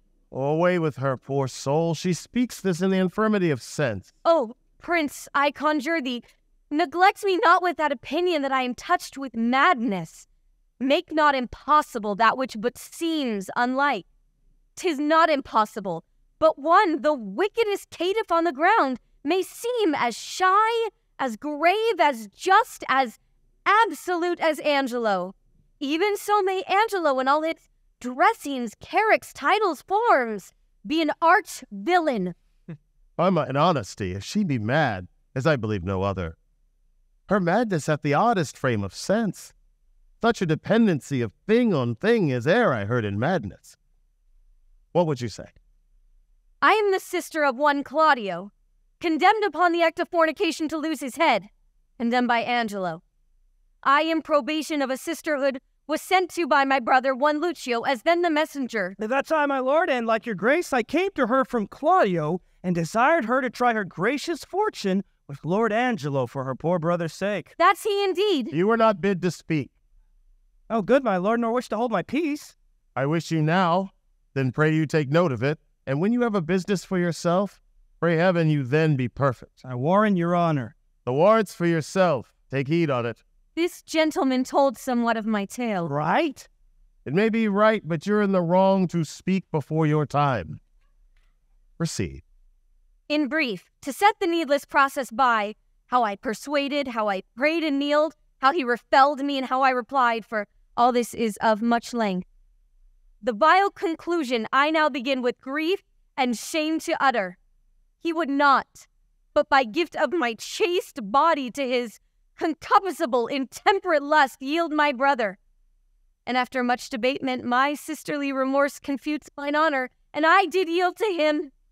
But the next morn betimes, his purpose surfeiting, he sends a warrant for my poor brother's head. This is most likely. Oh, that it were as like as it is true. O heaven, fond wretch! Thou knowst not what thou speakst, or else thou art suborned against his honor and hateful practice. First, it in, first his integrity stands without question. Next, it imports no reason that with such vehemency he should pursue faults proper to himself. If he had so offended, he would have weighed thy brother by himself and not have cut him off. Someone has set you on. Confess the truth and say by whose advice thou camest here to complain. And is this all? Then, O you blessed ministers above, keep me in patience, and with ripened time unfold the evil which is here wrapped up in countenance. Heaven shield your grace from woe, as I thus wronged hence unbelieved go. I know you'd fain be gone. An officer? To prison with her. Shall we thus permit a blasting and a scandalous breath to fall on him so dear us? This needs must be a practice. Who knew of your intent in coming hither? One I would were here, Friar Lodowick. A ghostly father, belike. Uh, who knows that Lodowick? My lord, I know him. As a meddling friar, I do not like the man. Had he been lay, my lord, for certain words he spake against your grace and your retirement, I swinged him soundly. Words against me? This a good friar, belike, and to set on this wretched woman here against our substitute. Well, let this friar be found. Oh, but yesternight, my lord, she and that friar, I saw them at the prison. A very sassy, saucy friar, a very scurvy fellow. Blessed be your royal grace. I have stood by, my lord, and heard your royal ear abused. First, hath this woman most wrongfully accused your substitute, who is as free from touch or soil from her as she from one ungot. We did believe no else, no other.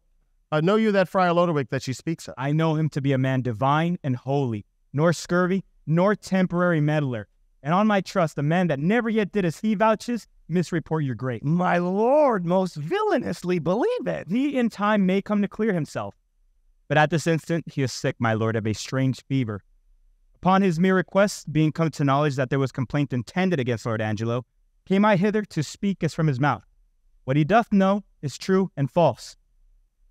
And it will make full clear whensoever he's convented. Uh, first, were this woman to justify a worthy nobleman so vulgarly and personally accused, her shall you hear disprove from her eyes till she herself confess it. Good friar, let's hear it. Do you not smile at this, Angelo? Oh, heavens, the vanity of wretched fools. Give us some seats. Come, cousin Angelo. In this I'll be impartial. Be you judge of your own cause. Is this the witness, friar? First let her show her face, and after speak. Pardon, my lord, I will not show my face until my husband bid me. What, are you married? No, my lord. Are you a maid? No, my lord. A widow, then? Neither, my lord. Why, you are nothing, then? Neither maid, widow, nor wife? My lord, she may be a punk, for many are ne- neither maid, widow, nor wife. Silence that fellow. And would he had some business to prattle for himself? Well, my lord, My lord, I confess I was never married, and I confess besides I am no maid. I have known my husband, yet my husband knows not that ever he knew me. he was drunk then, my lord. It can be no better. For the benefit of silence, would thou wert so too. Well, my lord. This is no witness for Lord Angelo. Now I come to it, my lord. She that accuses him of fornication in selfsame manner doth accuse my husband, and charges him, my lord, with such a time when I'll depose I had him in mine arms with all the effect of love. Chargers see more than me. Not that I know. No, you say your husband. Why, just, my lord. And that is Lord Angelo, who thinks he knows that he never knew my body, but knows he thinks that he knew Isabel's. This is strange abuse. Let's see thy face. My husband bids me, now I will unmask. This is that face, thou cruel Angelo, which once thou sworst was worth the looking on. This is that hand which with a vowed contract was fast belocked in thine. This is that body which took away the match from Isabel and supplied thee at thy garden house in her imagined person. Know you this woman? Carnally, she says. Sirrah, no more. Enough, my lord. My lord, I must confess, I know this woman. And five years since, there was some speech of marriage betwixt myself and her, which was broke off, partly for that her promised proportions came in short of composition, but in chief, for that her reputation was disvalued in levity. Since which time of five years, I never spake with her, saw her, nor heard from her upon my faith and honor. Noble prince, as there comes light from heaven and words from breath, as there is sense in truth and truth in virtue, I am affianced this man's wife as strongly as words can make vows. And but Tuesday night last gone in his garden house he knew me as a wife. As this is true, let me in safety raise me from my knees, else be forever confixed here a marble monument. I did but smile till now. My lord, give me the scope of justice. My patience here is touched. I do perceive these poor, informal women are no more but instruments of some more mightier member that sets them on. Give me way, my lord, to find this practice out. Aye, with my heart, and punish them to your height of pleasure. Thou foolish friar, and thou pernicious woman, compact with her that's gone, thinkst thou thy oaths, though they would swear down each particular saint, were testimonies against his worth and credit that sealed an approbation? You, cousin Escalus, Sit with my cousin here. Lend him your kind pains to find out this abuse, whence 'tis derived. There was another friar sent them on. Let him be sent for. I would he were here, my lord, for he hath sent her on to this complaint. Your provost knows the place where he abides, and he may fetch him. Go, do it instantly. And you, my noble and well warranted cousin, whom it concerns to hear this matter forth, do with your injuries as seems you best in any chastisement. I for a while will leave you, but stir not you till you have well determined upon these slanders. We shall do it thoroughly, my lord. Ignorancio, did you not say that you knew this Friar Lodowick to be a dishonest person? Cucullus non facit monachum, honest in nothing but in his clothes, and one that spoke most villainously of the Duke. I'll entreat you to abide here until he returns and enforce them against him. we shall prove this friar a notable fellow. As any in Vienna, on my word. Oh, that same Isabel here again, I would speak with her. I pray you, my lord, give me leave to question. See how I handle her. Oh, he could do no better by her own report. Say you? Mary, sir, I think if you approached her privately, she would sooner confess. Perchance publicly she'll be ashamed. I will go darkly with her. That's the way, for women are light at midnight. Now, mistress, there's a gentlewoman here, denies all that you've said. Uh, my lord, this is he. This is the rascal I spoke of with the provost. Very good time. Now speak not you to him until we call upon you. Mum. Come, sir. Did you set these women on to slander Lord Angelo? They have uh, complained that you did. Tis false. What? Know you where you are. Respect to your great place, and let the devil be sometime honored for his burning throne. Where's the Duke? Tis he should hear me speak. A Duke is in us, and we shall hear you speak, and look you speak justly. Boldly, at least. But, oh, poor souls, come ye to seek the lamb here of the fox?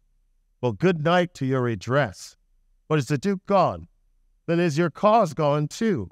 Oh, the Duke's unjust, thus to retort your manifest appeal and put your trial in the villain's mouth whom here you come to accuse. This is he. This is the rascal I spoke of. An unreverend, unhallowed friar. It's not enough that you suborn these women to accuse a worthy man, but in plain witness of his proper ear, call him a villain, then glance from him to the Duke himself to tax him with injustice, huh? Take him hence to the rack with him. We'll touse you joint by joint, but we'll know your purpose. What unjust! Be not so hot. The Duke dare no more stretch this finger of mine than he dare rack his own. His subject am I not, nor here provincial. My business in this state made me a looker on here in Vienna, where I've seen corruption boil and bubble till it o'errun the stew. Slander to the state, away with him to prison. What can you vouch against him, Signor Lucio? Was this not the man you told us of? Tis he, my lord. Come hither, Goodman Baldpate. You know me? I remember you, sir, by the sound of your voice. I met you in the prison in the absence of the Duke. Oh, did you so, sir? And do you remember what you said of the Duke? Most notedly, sir. Oh, do you so, sir? And was the Duke a fleshmonger, a fool, and a coward, as you then reported him to be? You must change persons with me, sir, ere you make that my report. You indeed spoke so of him, and much more, much worse. Oh, thou damnable fellow! Did I not pluck thee by the nose for thy speeches? I protest I love the Duke as I love myself. Hark, how the villain would close now after his treasonable abuse. This fellow is not to be talked with. I'll row us away with him to prison. Lay bolts enough upon him. He'll speak no more. Stay, sir. Stay a while. What? Resist he? Help him, Lucio. Come, come, sir. Come, sir. Fall, sir. Oh, you must be hooded, must you? Show your knave's visage with a pox to you. Show your sea-biting face and be hanged an hour. Wilt not off?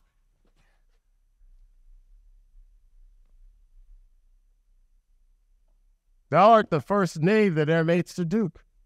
First, provost, let me bail these gentle three. Sneak not away, sir, for the friar and you must have a word anon. Lay hold on him.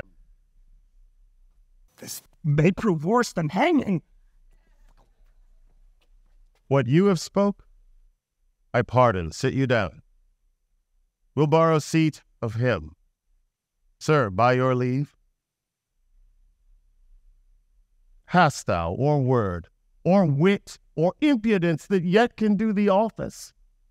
If thou hast, rely upon it till my tale be heard, and hold no longer out. My dread lord, I should be guiltier than my guiltiness to think that I can be undiscernible when I perceive your grace hath looked upon my passes like power divine. But, good prince, no longer hold session upon my shame, but let my trial be mine own confession. Immediate sentence and sequent death is all the grace I beg. Come hither, Mariana. Say, wast thou e'er contracted to this woman? I was, my lord. Go take her hence and marry her instantly. Do you the office, friar. Which consummate return him here again. Go you with him, provost. My lord, I am more amazed by his dishonor than the strangeness of it. Come hither, Isabel. Your friar is now your prince, as I was then, advertising and wholly to your business, not changing heart with habit. I am still attorney at your service. Oh, give me pardon that I, your vassal, have employed and pained your unknown sovereignty. You are pardoned, Isabel. Now, dear maid, be you as free to us. Your brother's death, I know, sits at your heart, and you may marvel why I obscured myself, laboring to save his life, and would not rather make rash remonstrance of my hidden power than let him so be lost. O most kind maid, it was the swift celerity of his death, which I did think with slower foot came on, that brained my purpose. But peace be with him. That life's better life past fearing death than that which lives to fear. Make it your comfort. So happy is your brother. I do, my lord. Before this new married man approaching here, whose salt imaginations yet have wronged your well defended honor, you must pardon, for Mariana's sake. But as he adjudged your brother, in criminal and double violation of sacred chastity and a promise breach, thereupon dependent for your brother's life, the very mercy of the law cries out most audible, even in its proper tongue, and Angelo for Claudio, death for death. Haste still pays haste, and leisure answers leisure. Like doth quit like, and measure still for measure. Then, Angelo, thy faults thus manifested, which though thou wouldst deny, denies thee vantage. We do condemn thee to the very block where Claudio stooped to death, and with like haste. Away with him. Oh, my most gracious lord, I hope you will not mock me with a husband. It is your husband mocked you with a husband. Consenting to the safeguard of your honor, I thought your marriage fit. Else imputation for that he knew you might reproach your life and choke your good to come. For his possessions, though by confiscation they are ours, we do instate and widow you withal, to buy you a better husband. Oh, my dear lord, I crave no other nor nor better man. Never crave him. We are defended. Gentle, my liege. You do but lose your labor. Away with him to death. Now, sir, to you. Good lord. Isabel, take my part. Lend me your knees and all my life to come. I'll lend you all my life to do you service. Against all sense you do importune her. Should she kneel down in mercy of this fact, her brother's ghost his paved bed would break and take her hence in horror.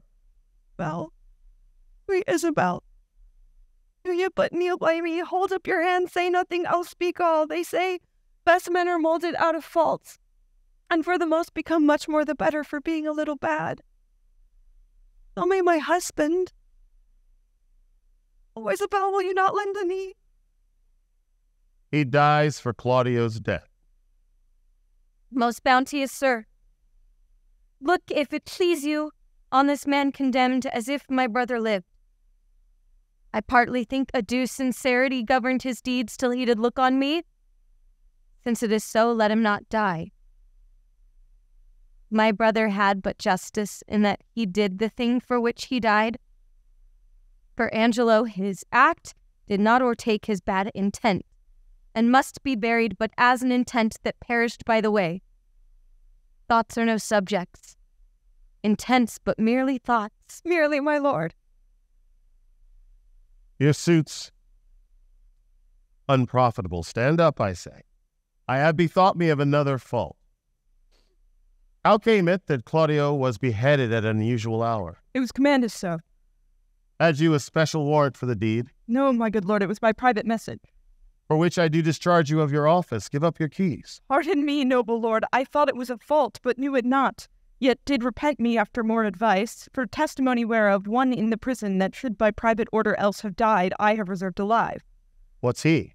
His name is Barnardine. And would thou hadst done so by Claudio. Go, fetch him hither. Let me look upon him.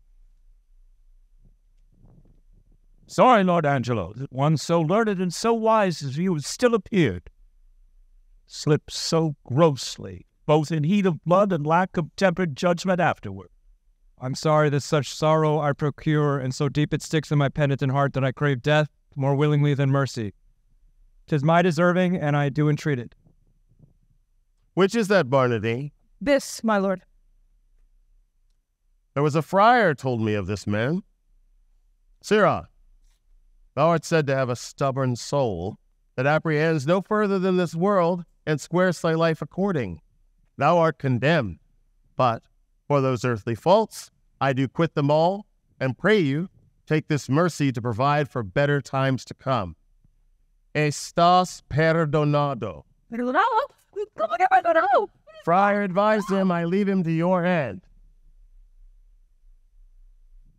What muffled fellow's that? This is another prisoner that I have saved, one who should have died when Claudio lost his head, as like almost to Claudio as himself. If he be like your brother, for his sake is he pardoned, and for your lovely sake, give me your hand and say you will be mine. He is my brother too. But fitter time for that. By this, Lord Angelo perceives he's safe. He thinks I see a quickening in his eye.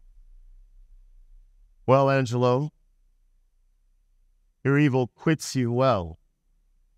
Look, you love your wife. Her worth worth yours? I find an approbation in myself. And yet, here's one in place I cannot pardon you, Sirrah that knew me for a fool, a coward, one of all luxury, an ass, a madman? Wherein have I so deserved of you that you extol me thus? Marry, sir, I did it, but according to the cr- uh, the trick. If you'll have me hanged, you may, but I would please, uh, I would it please you that I might be whipped. Whipped first, sir, and hanged after. I proclaim it round about the city.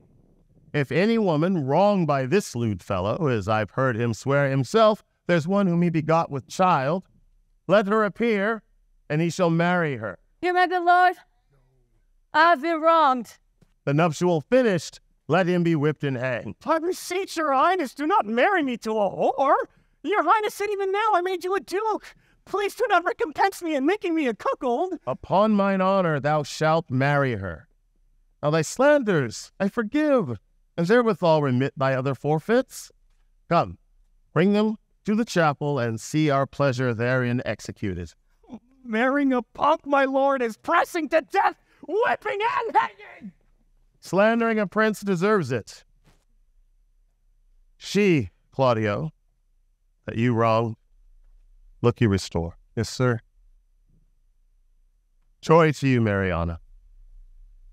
Love her, Angelo. I have confessed her, and I know her virtue. Thanks, good friend Escalus, for thy much goodness. There's more behind that's more gratulate. Thanks, Provost, for thy care and secrecy. We shall use thee in a worthier place. Forgive him, Angelo, that brought you home the head of Barn- uh, the head of uh, Ragozine for Claudio. The sin pardons itself.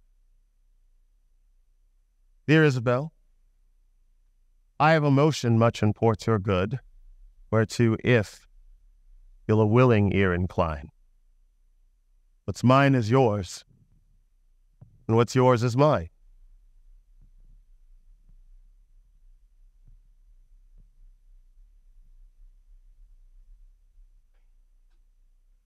That bring us to our palace, where we'll show what's yet behind. That's meet you all should know.